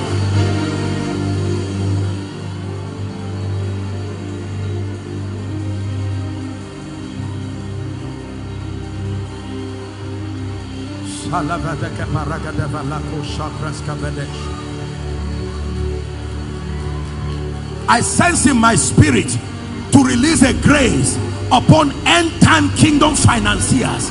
There are men and women. Ah, after the order of Joseph of Arimathea, there are men and women here. The grace that will come on you, you will handle resources for the kingdom. I decree and declare, where are they? These end time financial apostles over Ghana. Take that grace. Take that grace. The grace to do business in deep waters. I release that grace upon you. In the name of Jesus. The prince of Tyre and Sidon will not be able to stop you. You will prosper even as your soul prospers. financial apostles mighty grace is coming upon you mighty grace is coming upon you ordinary men will arise within a short time commanding resources for the kingdom. Hallelujah. Let me pray for those in front here and release them. In the name of Jesus every spirit that has manipulated anyone here I speak as one sent. Release them now. Release them now. Your yoke over them by the blood of the eternal covenant it speaks against you.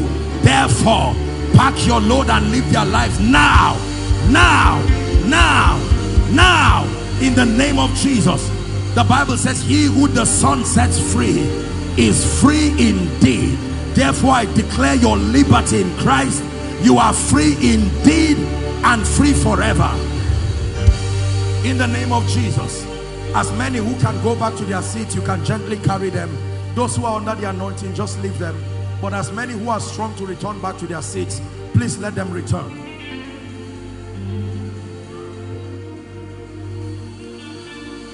Hallelujah.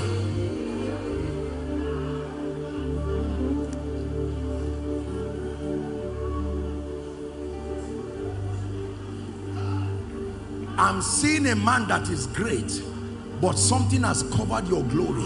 Nobody is able to see what you stand for. You are a man of God. You are sincere, doing ministry with integrity. but why you cannot rise to global visibility you do not know and the lord is saying to lose that veil i decree and declare over the ministers of the gospel whose glories have been covered i stand here as a privileged servant of god let your glory be unveiled now be unveiled now in the name of jesus that right from where you are let the nations place a demand upon you in the name of Jesus Christ.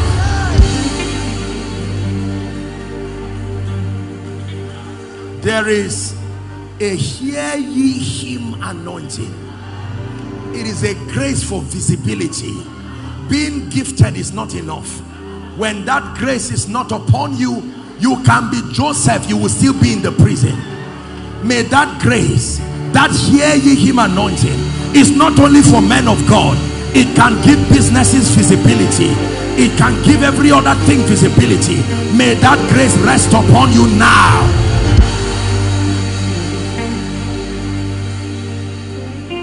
Hallelujah. Please don't be distracted. I want you to pay attention god is doing something in your spirit. There is someone god is showing me. You are going to start a prophetic prayer meeting. This is what i'm saying. God has been training you but there is a mantle mighty mantle that is coming upon you you will steer the hearts of men to pray and you will see results in prayer. I don't know who that person is but from heaven may that grace rest now. May that grace rest now. I impart upon you that grace. Steer an army for jesus. Steer an army for Jesus. Men of prayer and character and consecration and fire in the name of Jesus Christ.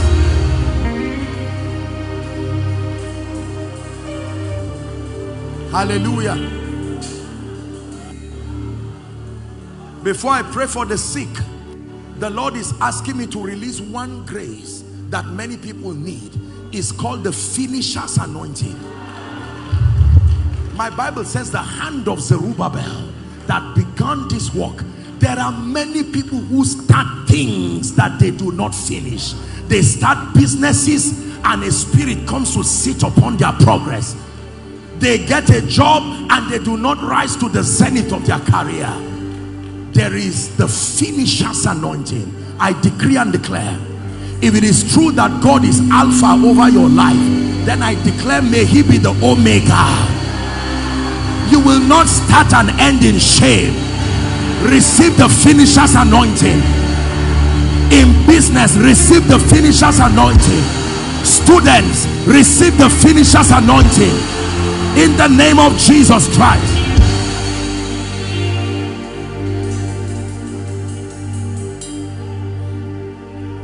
Now hear me please ladies and gentlemen. Please listen to me. Listen to me. I want to pray for the sick. Do you know why the healing ministry is powerful and it is needed? I'm saying this because I'm not only going to pray for the sick. Somebody here must carry a genuine healing anointing. No lies, no stage management, no crooks, no, no, no nonsense and wasting. No, no, no, no. Genuine, potent grace. Many years ago, I traveled to a Reinhard Bonnke crusade. I was already a man of God, but I desired the healing grace genuinely. I didn't want to deceive God's people playing games with their intelligence. There was a crowd of people, tens of thousands of people. And that first night, I stood there and the man came of blessed memory. Simple message and he preached. I saw mighty wonders of God's power. By the second day, I came early I said, I do not just want to be a spectator. I want to serve that anointing. And so when I came, they were willing people. And I said, please let me help. They said, no, I was not trained in the committee. I said, committee or not, you don't know where I'm coming from. I came with hunger in my spirit. While I was willing the people to the front, I said, Lord, this is how it will also happen in my meetings. Because the Bible says, without all contradiction, the less is blessed of the greater. Can I tell you, when your oil finishes the Bible says, Go to them that sell and buy. There are men that have been given, they are custodians of this grace. Paul says, We are stewards of the mystery. Go to them that sell and buy. Buy with hunger, buy with humility, buy with meekness. By the second day, my hunger and desperation had gotten to the heavens. And when he preached a simple message, he was about to drink a cup of water and then minister to the sick when my eyes were opened and I saw this giant bird hovering around the entire crusade ground. I thought others were seeing it, but I was the only one who was seeing it. It was not flying, it was soaring. And the Spirit of God took me to Genesis 1 verse 2. And the Spirit of God hovered round the face of the waters. And the Lord told me the union of the movement of the Spirit and the spoken word is what produces the miraculous. By the time I came back to myself, I had backed the stage and that began the beginning of a dimension of signs and wonders i'm saying that because i want to pray for the sick because of our time i'm not sure we may have the time. It is it's always sad that we don't have the time to testify but at least let me pray for you. We still have other sessions and you can testify. I need to pray for you two things. To pray for the sick but then to also release that grace. Let me tell you something, ladies and gentlemen, I'm sure you are learning by now that the days of superstar Christianity is over.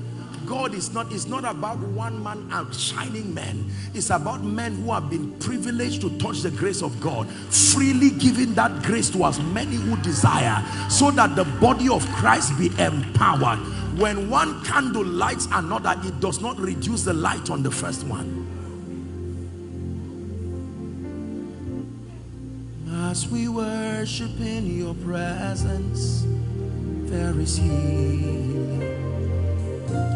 The Holy Spirit's gentle touch is flowing.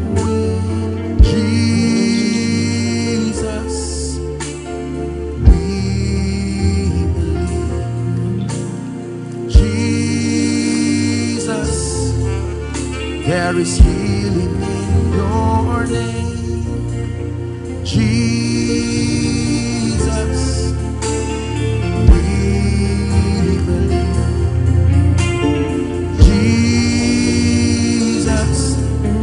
There is healing in your name. The saints and the angels bow. The redeemed worship you now holy, holy holy are you, Lord. Ale The saints and the angels bow. Help him. The redeemed worship you now. Holy, holy, holy are you, Lord. Hallelujah. I want you to place your hand everywhere you are trusting God for a miracle. Go ahead by faith. The power of God is moving here to heal. Do you know why healing is important? Everybody please look up. Let me teach you something for one minute before I pray for you. Do you know why healing is very important? I will tell you. Healing is important because everybody is only given one body per lifetime. You are only entitled to one body per lifetime. And based on the law of territory, your longevity, what you call life, what you call longevity, only depends on the health of your body. There is a health requirement for your spirit to remain in your body. And when your body is so deteriorated beyond a certain threshold, your spirit will be mandated by design to leave that body, whether your time on earth is there or not. So every time Satan afflicts you, it is death in a measure.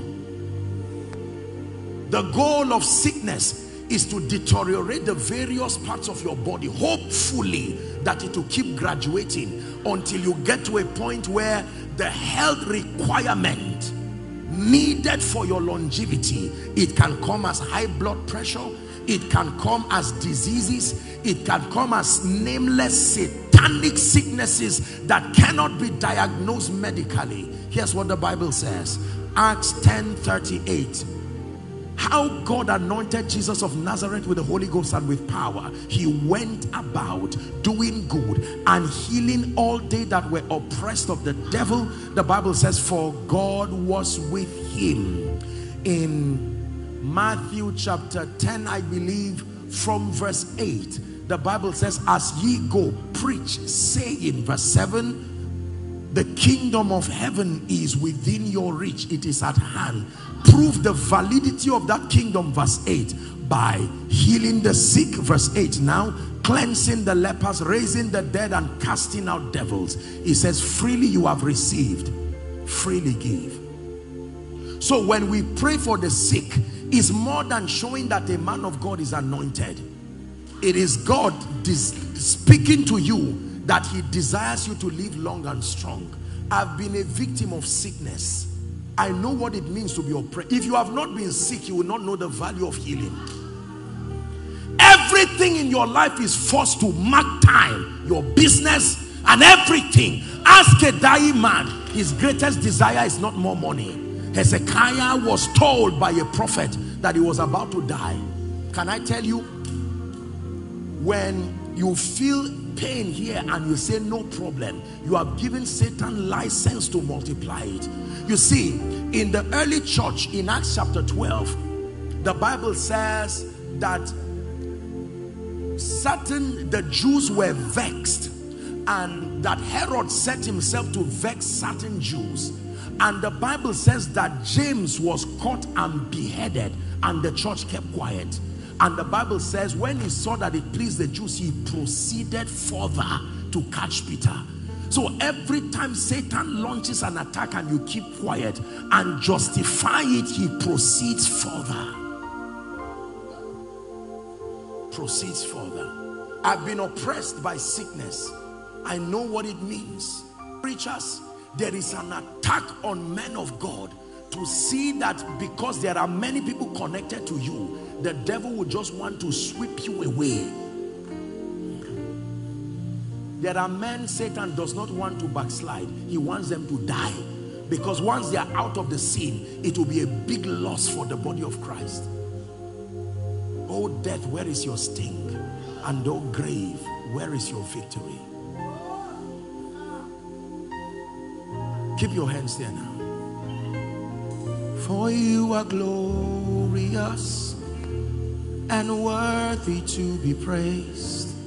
You are the Lamb upon the throne, and unto you we lift our voice in praise. You're the Lamb upon the throne. I want to rebuke sickness now. And I want you to believe with all your heart. If it's a part of your body you cannot touch, just make contact with your chest. And by the way, you can stand for someone who is not here. The centurion stood for his son and said, I am a man under authority, having men under me. I say to one, go and he goes. Come and he comes. He says, speak the word only. I want to pray. Agree with me as you shout a loud amen when I begin to pray. In the name of Jesus Christ. In the mighty name of Jesus Christ. Help them. Every spirit of infirmity you don't have to bring them out. In the name that is above all names I declare leave God's people now.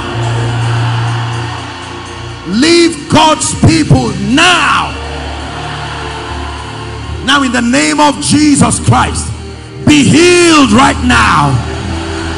Be healed right now from the crown of your head to the soles of your your feet. Let that healing fire flow through your body right now. Let that healing fire cleanse your blood right now. Your organs right now. In the name of Jesus. I command eye conditions be healed in the name of Jesus. Every deaf ear here partially or totally deaf be open now Everyone here with difficulty in walking, bone problems, life to your limbs right now. In the name of Jesus Christ. Anyone who is not able to move any part of your body, I command begin to move it now. There's someone you have severe pain at the right side of your neck. The Lord is revealing it to me. I command healing right now healing right now every blood situation here any medical condition here represented that is blood related I don't care how long it has been let your blood I'm sensing fire leaving my hands in the name of Jesus your blood be cleansed now your blood be cleansed now. Somebody from the back the right side the hand of God is resting upon you. Your blood is being cleansed right now in the name of Jesus Christ. Any growth in your body any part of your body satanic lump around your bodies in the name of Jesus let those growths die and dissolve out of your body shout a believing amen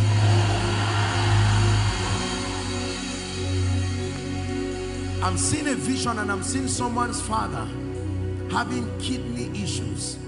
You're having issue of kidney. In the name of Jesus, we pray for Baba wherever he is. Whether he's in a hospital, he's overseas. By the power that raised Christ from the dead, let healing rest upon our father right now. Hallelujah. The Lord is saying I should rebuke the spirit of death. Why am I seeing people gather like an obituary and that a few weeks after now someone just left like that in the name of Jesus I don't know which family that is but by the power of the Holy Spirit help them please death you are a spirit and I speak to you. Let God's people go now. That yoke help them my God. Help them. That plague of death. I command release God's people now. That the fullness of their days they fulfill. In the name of Jesus Christ.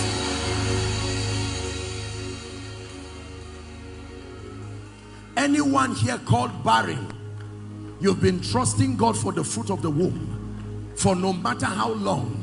I want to pray for you right where you are. Place your hand on your stomach as a sign of faith right now. In the name of Jesus I prophesy to you as Elisha spoke to the woman in Shunem according to the time of life return with your miracle children. In the name of Jesus Christ there's someone the Lord is showing me just right here severe pain around your back. In the name of Jesus Christ that lumbar area the power of God is touching you right now. The power of God is touching you right now. The power of God is touching you right now. Now there's someone I'm seeing you are not sick but you cannot sleep. I prayed for a similar issue in the meeting before I came here. Once you wake up in the night. That is the end of it. No matter what you do it's an attack. Please hear me. It's not just a medical condition. The Lord is saying to declare your liberty. For the Bible says I lay me down and I slept. I wait for the Lord to sustain me that he giveth his beloved sleep. Everyone here who has been frustrated that when you should sleep the devil keeps you awake to frustrate you. In the name of Jesus be free from that plague now.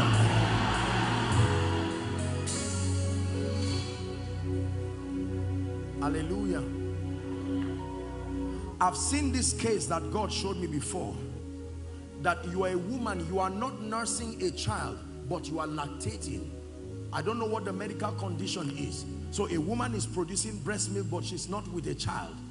This is what the Lord is showing me. There's someone with that situation in the name of Jesus I decree and declare right now let that oppression over your body come to an end now in the name of Jesus In the name of Jesus. The Lord is telling me rebuke prostrate. Prostrate. There's someone, that thing is at its infancy. It's now beginning to affect you. You go to ease yourself. You are a man and you find out there is difficulty and you've been quiet you've not shared it with many people it is the devil programming prostrate cancer. In the name of jesus i don't know where that person is whether you are inside or outside i declare cancer of any sort any sort whether prostrate cancer breast cancer lung cancer brain tumors in jesus name for you or for your loved ones overseas. Be healed now. Be healed now. I'm seeing someone who treats malaria every month regardless what happens you treat it and a new month comes you start feeling cold and then you treat it again you've done this thing for over four months back to back the lord is saying i should minister to you in the name of jesus that plague leaves you once and for all Help. That plague leaves you once and for all. It leaves you once and for all. Once and for all. There is someone, you have a father. The man, I don't know, the medical people will help us. He forgets things. He's losing his memory. This is what I'm seeing. Dementia is called. And the Lord is asking me to pray because he's now beginning to forget people they have to tap him and remind him and say this is this it's a brain problem a coordination problem he's having and the lord is saying we should pray for him in the name of jesus for him and any other person suffering from dementia by the power that raised christ from the dead let there be restoration of your memory. In the name of jesus christ. Now, any medical situation at all, whether I mentioned it directly or not, provided it is not of God and it is inconsistent with the will of God, I decree and declare unto you, in partnership with all the graces here represented, be healed now. I hope you know that humans are not the only species of God's creation that can be healed. In the Bible, waters were healed, plants were healed. Everything God created that has life also needs healing. Are we together? A territory can be healed. Is it not in your Bible? I will hear from heaven, I will forgive their sins and heal their land, not just their body. A land can be wounded. The same thing that happens to a human being can happen to a land.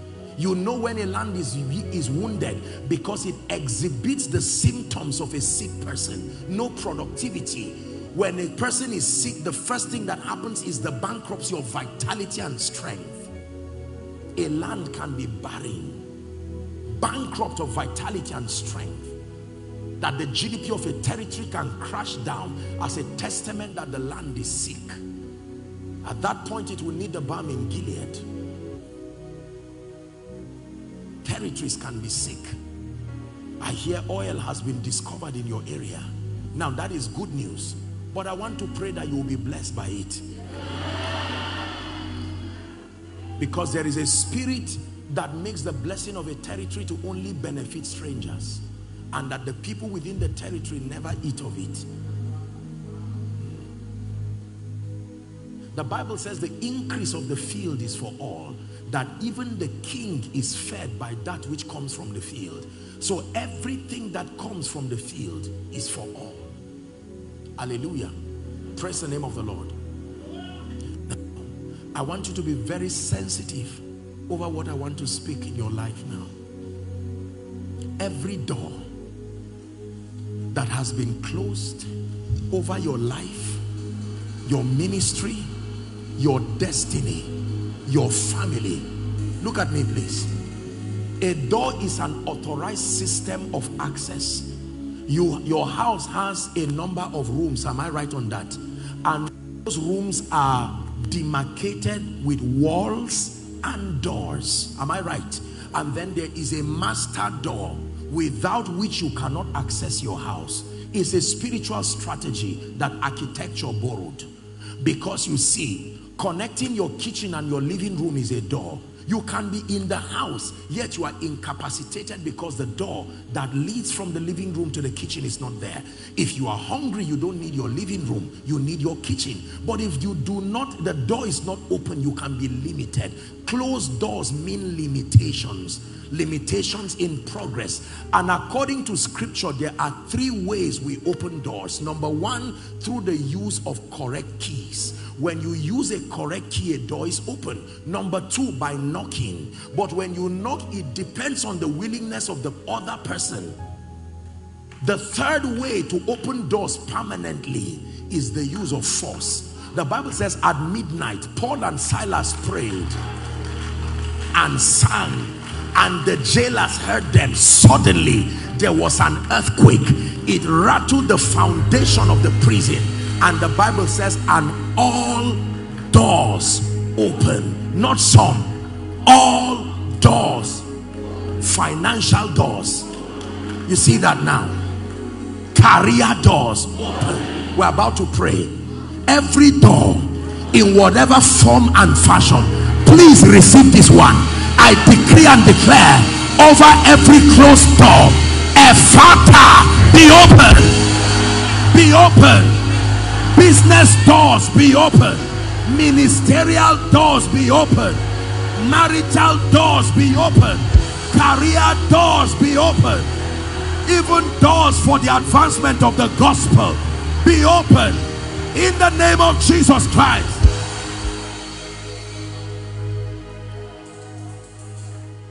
Number two, I want to pray. Paul said, I desire to come to you, even I, Paul, once and again, but Satan hindered us. Favor desire to come to you, but Satan hindered it. Breakthrough desire to come to you, but Satan hindered it. Everything that has been hindered from reaching you, I stand as a prophetic midwife. I put it to your hands I push it into your hands in the name of Jesus Christ. The Bible says, have you heard this proverb? That in one day a nation is born. But he said, as soon as Zion travails, she shall put forth a son. I don't know how long you have stayed without birthing that which is locked up in your spirit. But I have come as a midwife. Listen, listen. So you shout amen with understanding. There is a man in the Bible who was a victim of the carelessness of a midwife called Mephibosheth. He was not an evil baby. The midwife that handled his delivery was not competent enough and the man became crippled forever. It matters who help you delivering what is coming out. The carelessness of a midwife can produce a Mephibosheth. Even though he was favored by David, but he remained crippled forever. I come as a prophetic midwife. That which is long overdue in your spirit, the giftings, the visions, the dreams, the ideas, in the name of Jesus, deliver safely now. Deliver safely now. The Bible says, and there was war in heaven a woman who was pregnant with child, a man child, about to deliver and there was a dragon that stood before her waiting to eat the child. But the elements of creation cooperated with that woman and took her to a safe place. I speak to the wind. I speak to every element that god created. May they partner with the holy ghost in your safe delivery. In the name of jesus christ is it not in your Bible that the stars fought for Deborah? Is it not in your Bible that hailstones came from heaven on account of God's people? Is it not in your Bible that the sun stood still for Joshua? Everything God created can serve his bidding.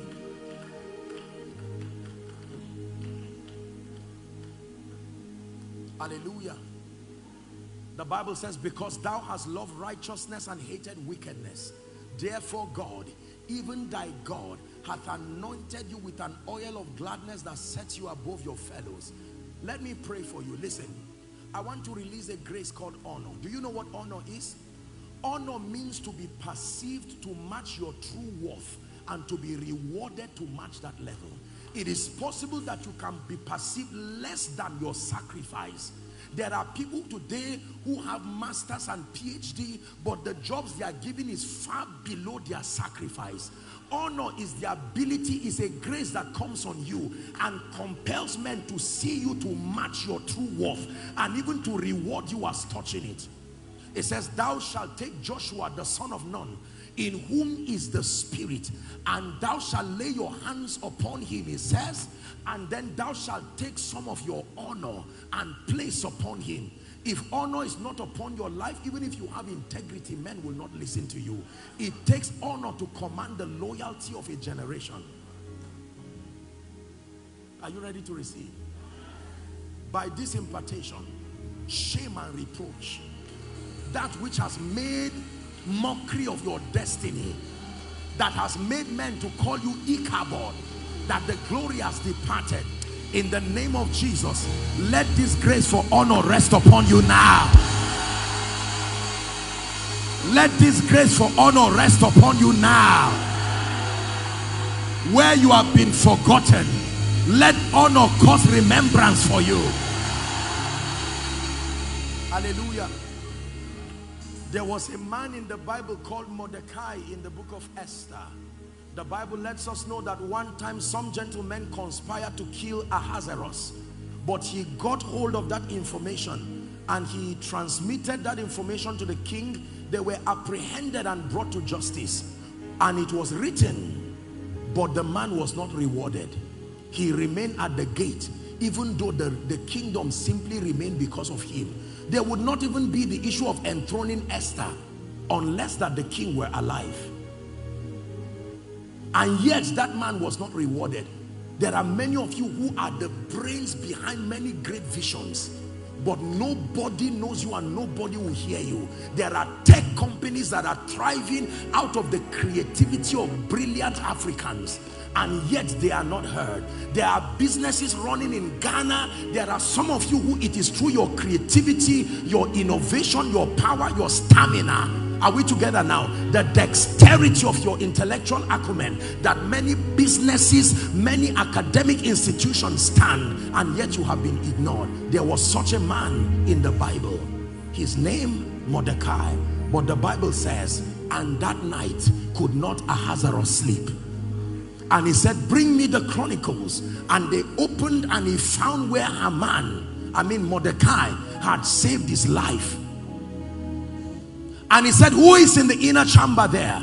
And they brought Haman. He said, what should be done to such and such a man? Haman thinking it was him. He brought the best description and he said, do so to Mordecai and let not one word fail. I want to open the book of remembrance over someone.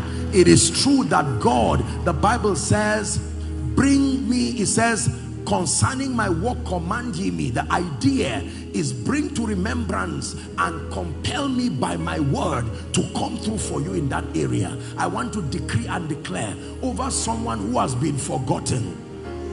There are people today you knew them before and after yet they will pass you with no sense of regard to reward you. I have met many of such people in my life they will show me photos with now presidents photos with now global CEOs and at the point of infancy they cried with them. They stood with them.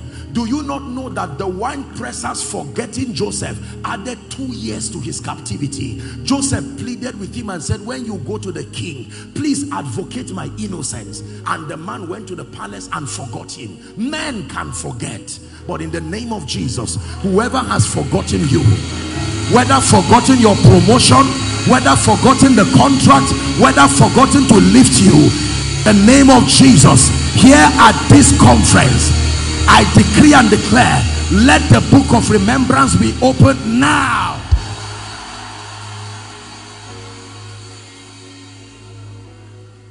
Do you believe that? You will marvel and wonder. I'm not motivating you I'm imparting something on your life you did not come to church with. Hallelujah. Praise the name of the Lord. Now hear me. I'm going to pray for everybody now, but this prayer is particularly, respectfully speaking, to the church of the Lord Jesus Christ, especially across here. Do you know that there is a spirit that makes men to only receive from afar?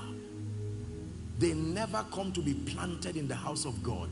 Every city has enough people to fill up every church without competition, prejudice, or jealousy. There are more than enough people in any territory to fill up the church and have God's people being served with the truth. But there are spirits that hinder men. When the feast was ready, he said, go and call people and one was giving an excuse. I just married, I need to have time with my wife. Another person said, I just built a house. And he said, go to the highway and the byway and compel them to come. Is the Greek word anakazo. There is an energy of the spirit that can compel men from where they are. The same grace that came upon the ark of Noah he did not need to talk to the animals. One by one, two by two, seven by seven, they came until the ark was filled. I want to release that grace. Truly, there is a grace for ingathering that calls men it is important that the local assemblies here represented have sufficient people that call upon the name of the Lord. Therefore, I stand with every man of God who has labored in this city, labored in this region, for the kingdom. May this grace rest upon you. Rest upon your church. Rest upon your ministry. In the name of jesus christ. The grace that compels the attention of a city. The bible says it was noised abroad that jesus was in town. Who noised it we do not know. But there are angels that herald glad tidings and compel men to come and see what is happening John Knox said, you set yourself on fire and the world will come to watch you burn. In fact, scripture says it this way, that where the carcasses are, there the eagles gather. Hallelujah. Is it all right if I speak about your finances? Please, don't accept poverty. It's a satanic thing that is plaguing Africa listen to me. Now when it has to do with the subject of wealth and abundance there is a negative side to it that must be corrected. Materialism and such an unguarded lust for money so for most people who talk about money, it's not from the standpoint of revelation and a desire for comfort and the advancement of the kingdom. It's just an obsession. It's a channel to market and sell lust. It is the reason why when people receive these graces, it, it leads to all kinds of things that you do not imagine. But nobody should ever preach you into accepting poverty. It does danger and harm to the dignity of your own life the purposes of God and even the dignity of a nation. Are we together? The Bible gave a parable, a story in the book of Ecclesiastes that there was a poor wise man. It says that man by his wisdom, when certain cities came to attack a nation, by his wisdom, he offered a strategic security solution and the city was saved. But he said that poor man was not remembered. And he says, here is the conclusion wisdom is better than strength but a poor man's wisdom is despised and his words are not heard. No man remembered the same poor man. From infancy i made up my mind infancy of ministry that i will never advocate poverty. I will balance and teach people character consecration doctrine and the purpose of wealth. But not under my watch will i raise a poor people. I will not ask wealthy people to come. I will raise people from within you see. Hallelujah. And the scripture I found is Genesis 17 and verse 6. Please give it to us and then I speak over your life. Don't be tired of receiving. It's a good bargain. You are standing for a few hours and reprogramming the next decade of your life. And I will make thee exceeding fruitful, he said to Isaac, and I will make nations of thee, and kings shall come out of thee. You're a businessman here, don't feel guilty for being rich. Just love Jesus with all your heart. Materialism is not having materials. Materialism is the influence of material possessions on your character, your relationship with Jesus, and your kingdom disposition. A poor man can be materialistic. It's just that you don't have the materials yet to show it. Hallelujah. So Take all that, that, that advocacy of poverty out of your life in a hurry and trust God to grow wealthy with the dignity of kingdom integrity. There are certain temptations that will not near your corridor when you are blessed. Do you not know that wealth is a, is a defense? Delilah gave Samson simply because of money. Judas, who loved Jesus so much, the money, he did not even use it. And he still died. Hallelujah. Africa has become a victim of our own theology. We need to be careful. The rich ruled over the poor and the borrower is always slave to the lender. There are many people who have written books today that can change nations, but they are limited financially. There are many sincere ministries right now in debt. The men cannot pray. Their wives cannot have peace. Their children cannot be sent to school. There are many who are now within the corridors of compromise, all because of the God of gold. I made up my mind that I will never raise a people who are just spiritually vibrant. In order of priority, your spiritual vibrancy is of utmost importance. But in addition to it, you need to be empowered. It is evil to advocate a gospel of poverty and mediocrity. You will keep a generation perpetually in slavery, transgenerationally in fact. The balance there is everything cannot be about money. No. Money, money, money from morning till night. That is an inaccurate approach. Are we together now? Money, like many other important facets of the kingdom, are important for the holistic excelling of the believer. What we need to do is balance.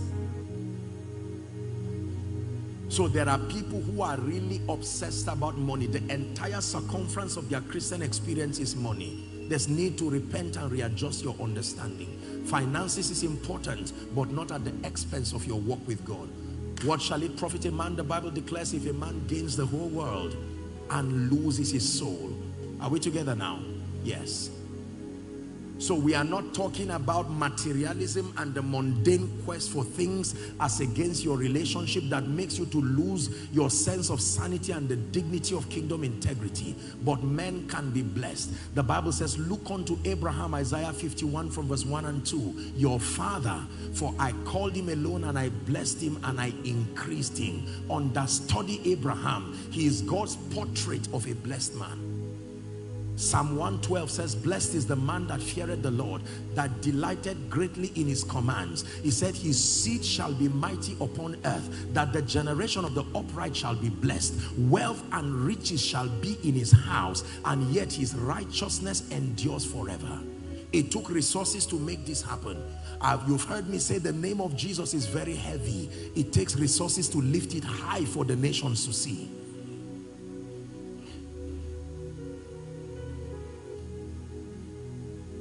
The authorized pathway to becoming wealthy is an interplay of many kingdom and economic forces. Do not ignore them. The force of value and productivity, the force of relationships. Are we together? Strategic connection, competence, investments. All of these are biblically proven pathways that lead to sustainable wealth and do not ignore them. But in addition, I introduced to you tonight the prophetic dimension of wealth. There is the prophetic dimension of wealth. The Bible says, and by a prophet the Lord brought Israel out of Egypt, and by a prophet was he preserved. He says, believe in the Lord your God, so shall ye be established, and believe his prophets shall ye prosper. By this time tomorrow is not an economic statement, it's a prophetic statement.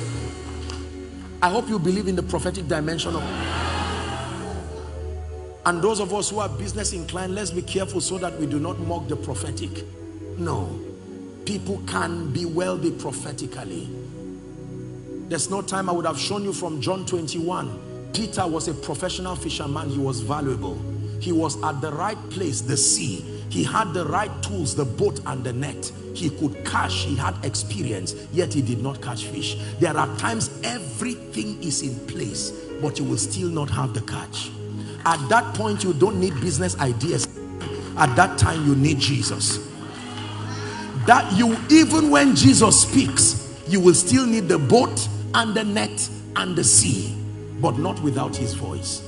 The assignment of the prophetic is not to replace all that you have learned in school and your understanding is to complement with understanding. No matter how well you mix your ingredients, when there is no fire, there is no cooking.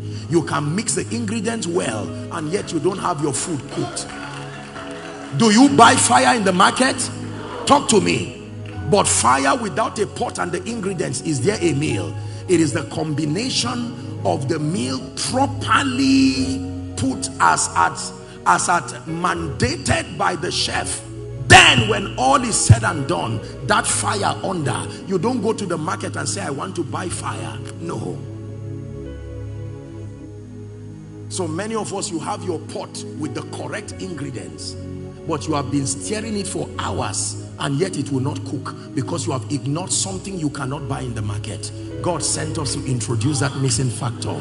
In the name of Jesus, who is the Son of the living God, I decree and declare by the power of the Holy Spirit, the prophetic advantage over your finances, let it rest on you now.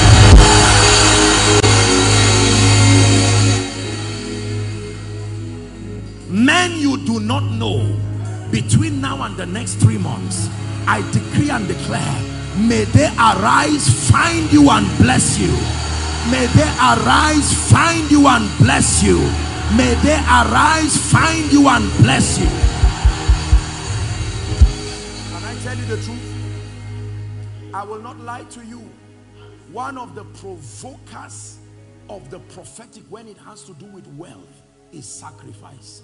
It has been abused though but ladies and gentlemen, within the boundary of doctrine and scripture, it is a potent spiritual manifestation. I'm not asking you to come and me. I am just telling you that when it has to do with the prophetic dimension of wealth, it is beyond just saying amen.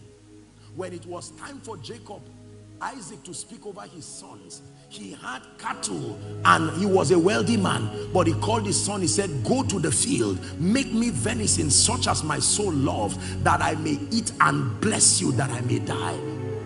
I hope you know that the the animal that jacob stole was just behind his house. Why did he now send him to the field?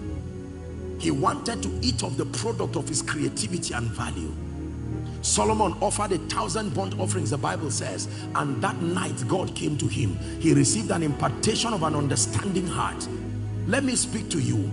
I know that there are people who respectfully speaking and sadly may have manipulated people into giving for just mundane things. God is helping his church. And this is why we keep teaching the truth in love. So that as many who are given to compromise will find the truth and come to know that there is a pathway to do ministry with dignity and with character and with integrity. However, do not throw the baby and the bathwater. Every man of God here will tell you we are rose upon the wings of sacrifice. I can tell you stories upon stories that people gave and gave everything and God elevated them to dimensions and vowed a vow. Did Abraham not carry Isaac? Take now thy son thine only son whom thou lovest I'm speaking to you because some of you is possible God can give you certain instructions or perhaps the church can come for you with prophetic instructions. Do not see it as manipulation. If you understand it with revelation, manipulation is where you act against your will and against the dictates of scripture. That is manipulation. But within the boundary of knowledge, understanding and accuracy of scripture, please practice every truth you find with scripture and expect that there be an open door. Let me speak again to your finances. Everyone in debt, everyone in financial shame and reproach, we call upon God who is called Ebenezer, the one who helps men. In the name of Jesus, come out of every financial shame and reproach come out of every financial shame and reproach I speak to families be empowered financially ministries be empowered financially. Institutions be empowered financially.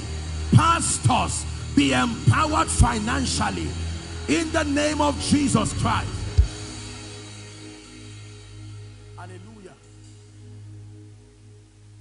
Finally I want to release a grace upon your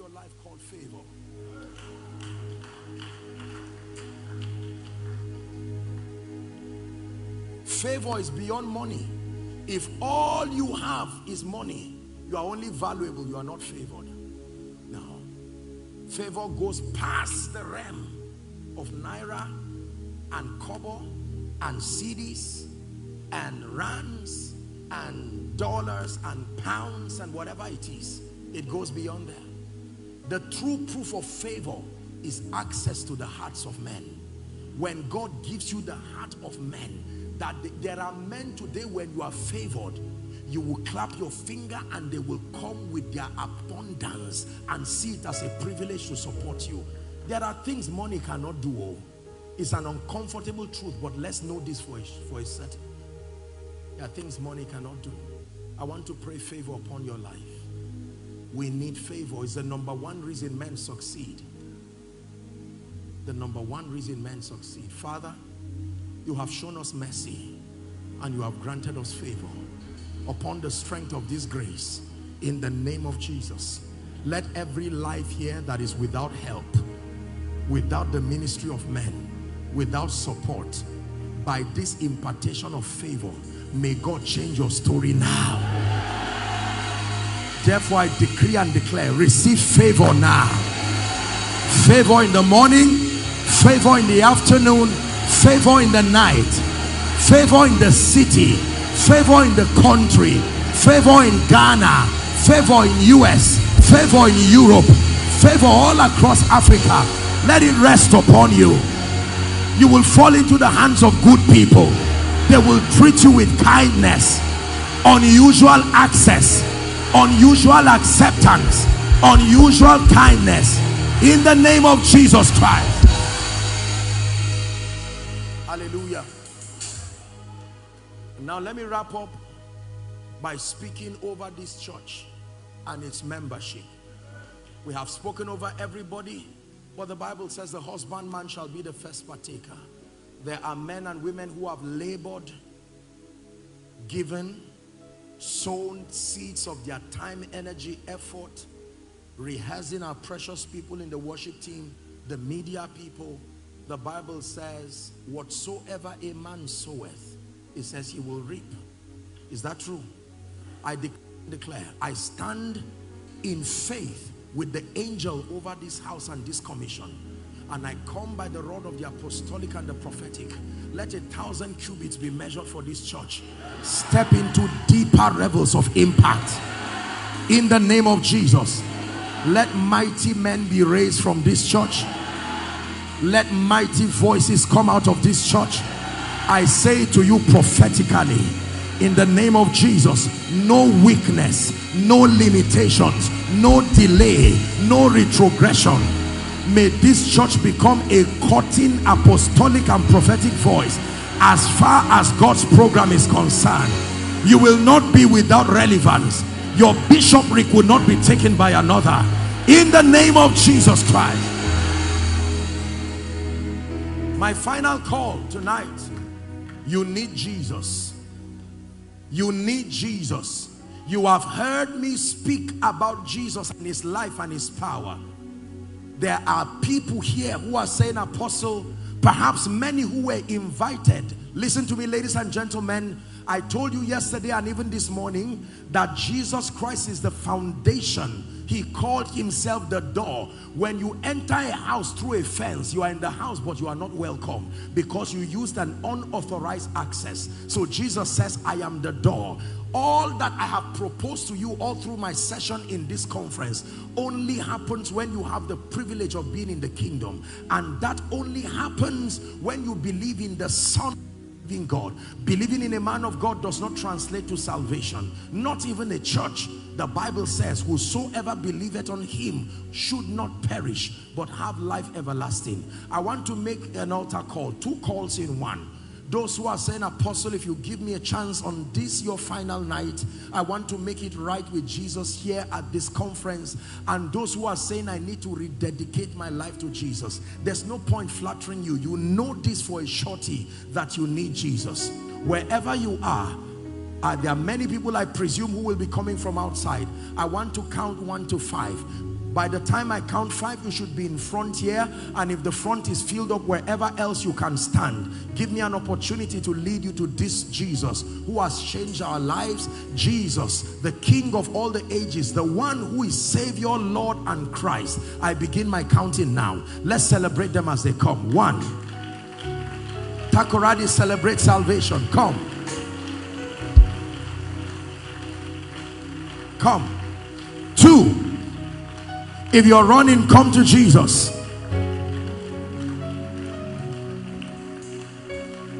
Come. Come. Come. No shadow you wouldn't light up, mountain you wouldn't climb up, coming after me. No wall you coming after me. No shadow you would light up. Will up. Come, come to Jesus. No wall you will kick down, lie you won't tear down, come after me. Listen, it matters that we lead people to Jesus. There are no assumptions. The rich young ruler comes to Jesus and says, Good master, what must I do to inherit eternal life? It is important, ladies and gentlemen, that we ensure that the people around our environments are not only blessed and prosperous, but that ultimately, in fact, first and foremost, that they are saved. I shared with us yesterday that God desires that all men be saved and then that they come into the knowledge of the truth. Thank you so much, ladies and gentlemen, for making this noble decision. This is unto Jesus. Let me request that you lift your right hand and all those who are outside across the overflows who are praying this prayer, make sure you do that with devotion, dedication, and seriousness. And for someone who is watching by way of television, watching online, you are in your home, your office, uh, or just watching by way of internet, here's your chance to make Jesus Lord of your life. All of you in front, say this after me as loud and as clear as you can. Say, Lord Jesus, I have heard your word.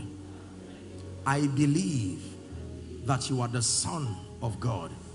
I believe that you died for my sin.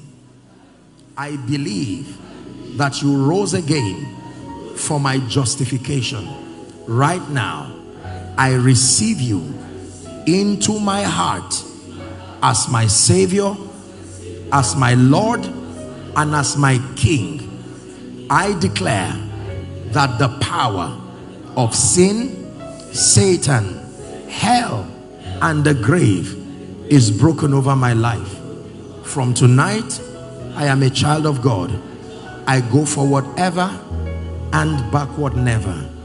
Amen. Keep your hands lifted and I pray for you. Father, thank you for bringing these ones the Bible declares that as many who will come to him, he will in no wise cast away. They have come declaring the Lordship of Jesus over their lives. According to the authority of scripture, I declare your sins forgiven. And in the name of Jesus, I speak unto you the power to live a victorious Christian life. I release it upon you now. I call you the righteousness of God in Christ Jesus. And I empower you that from today, you go forward ever and backward never.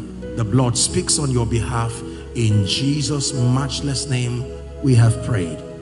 Thank you very much. Please look at me. Congratulations to all of you. Let me request, as we did yesterday, there's a counselor, an official waving his hands at my right. That will be your left. Please let me request that all of you in concert just move to um, that direction and you will have a few people have a word with you very quickly and you'll be back to your seat. Let's give them a big, big hand clap. Hallelujah. The conference still continues. Let me encourage everyone as much as possible, participate even onto the final day of the conference. And this is my encouragement for everyone the Lord is still moving, still blessing. There are many other dimensions coming by the Spirit of the living God. So insist and ensure that your heart remains open. Are we together now? To get the balance of everything that God has in store for you. But one last time, Ghana, Takoradi, thank you for your love. Thank you so much, Bishop. May the Lord bless and honor you in the name of Jesus Christ. Amen and amen.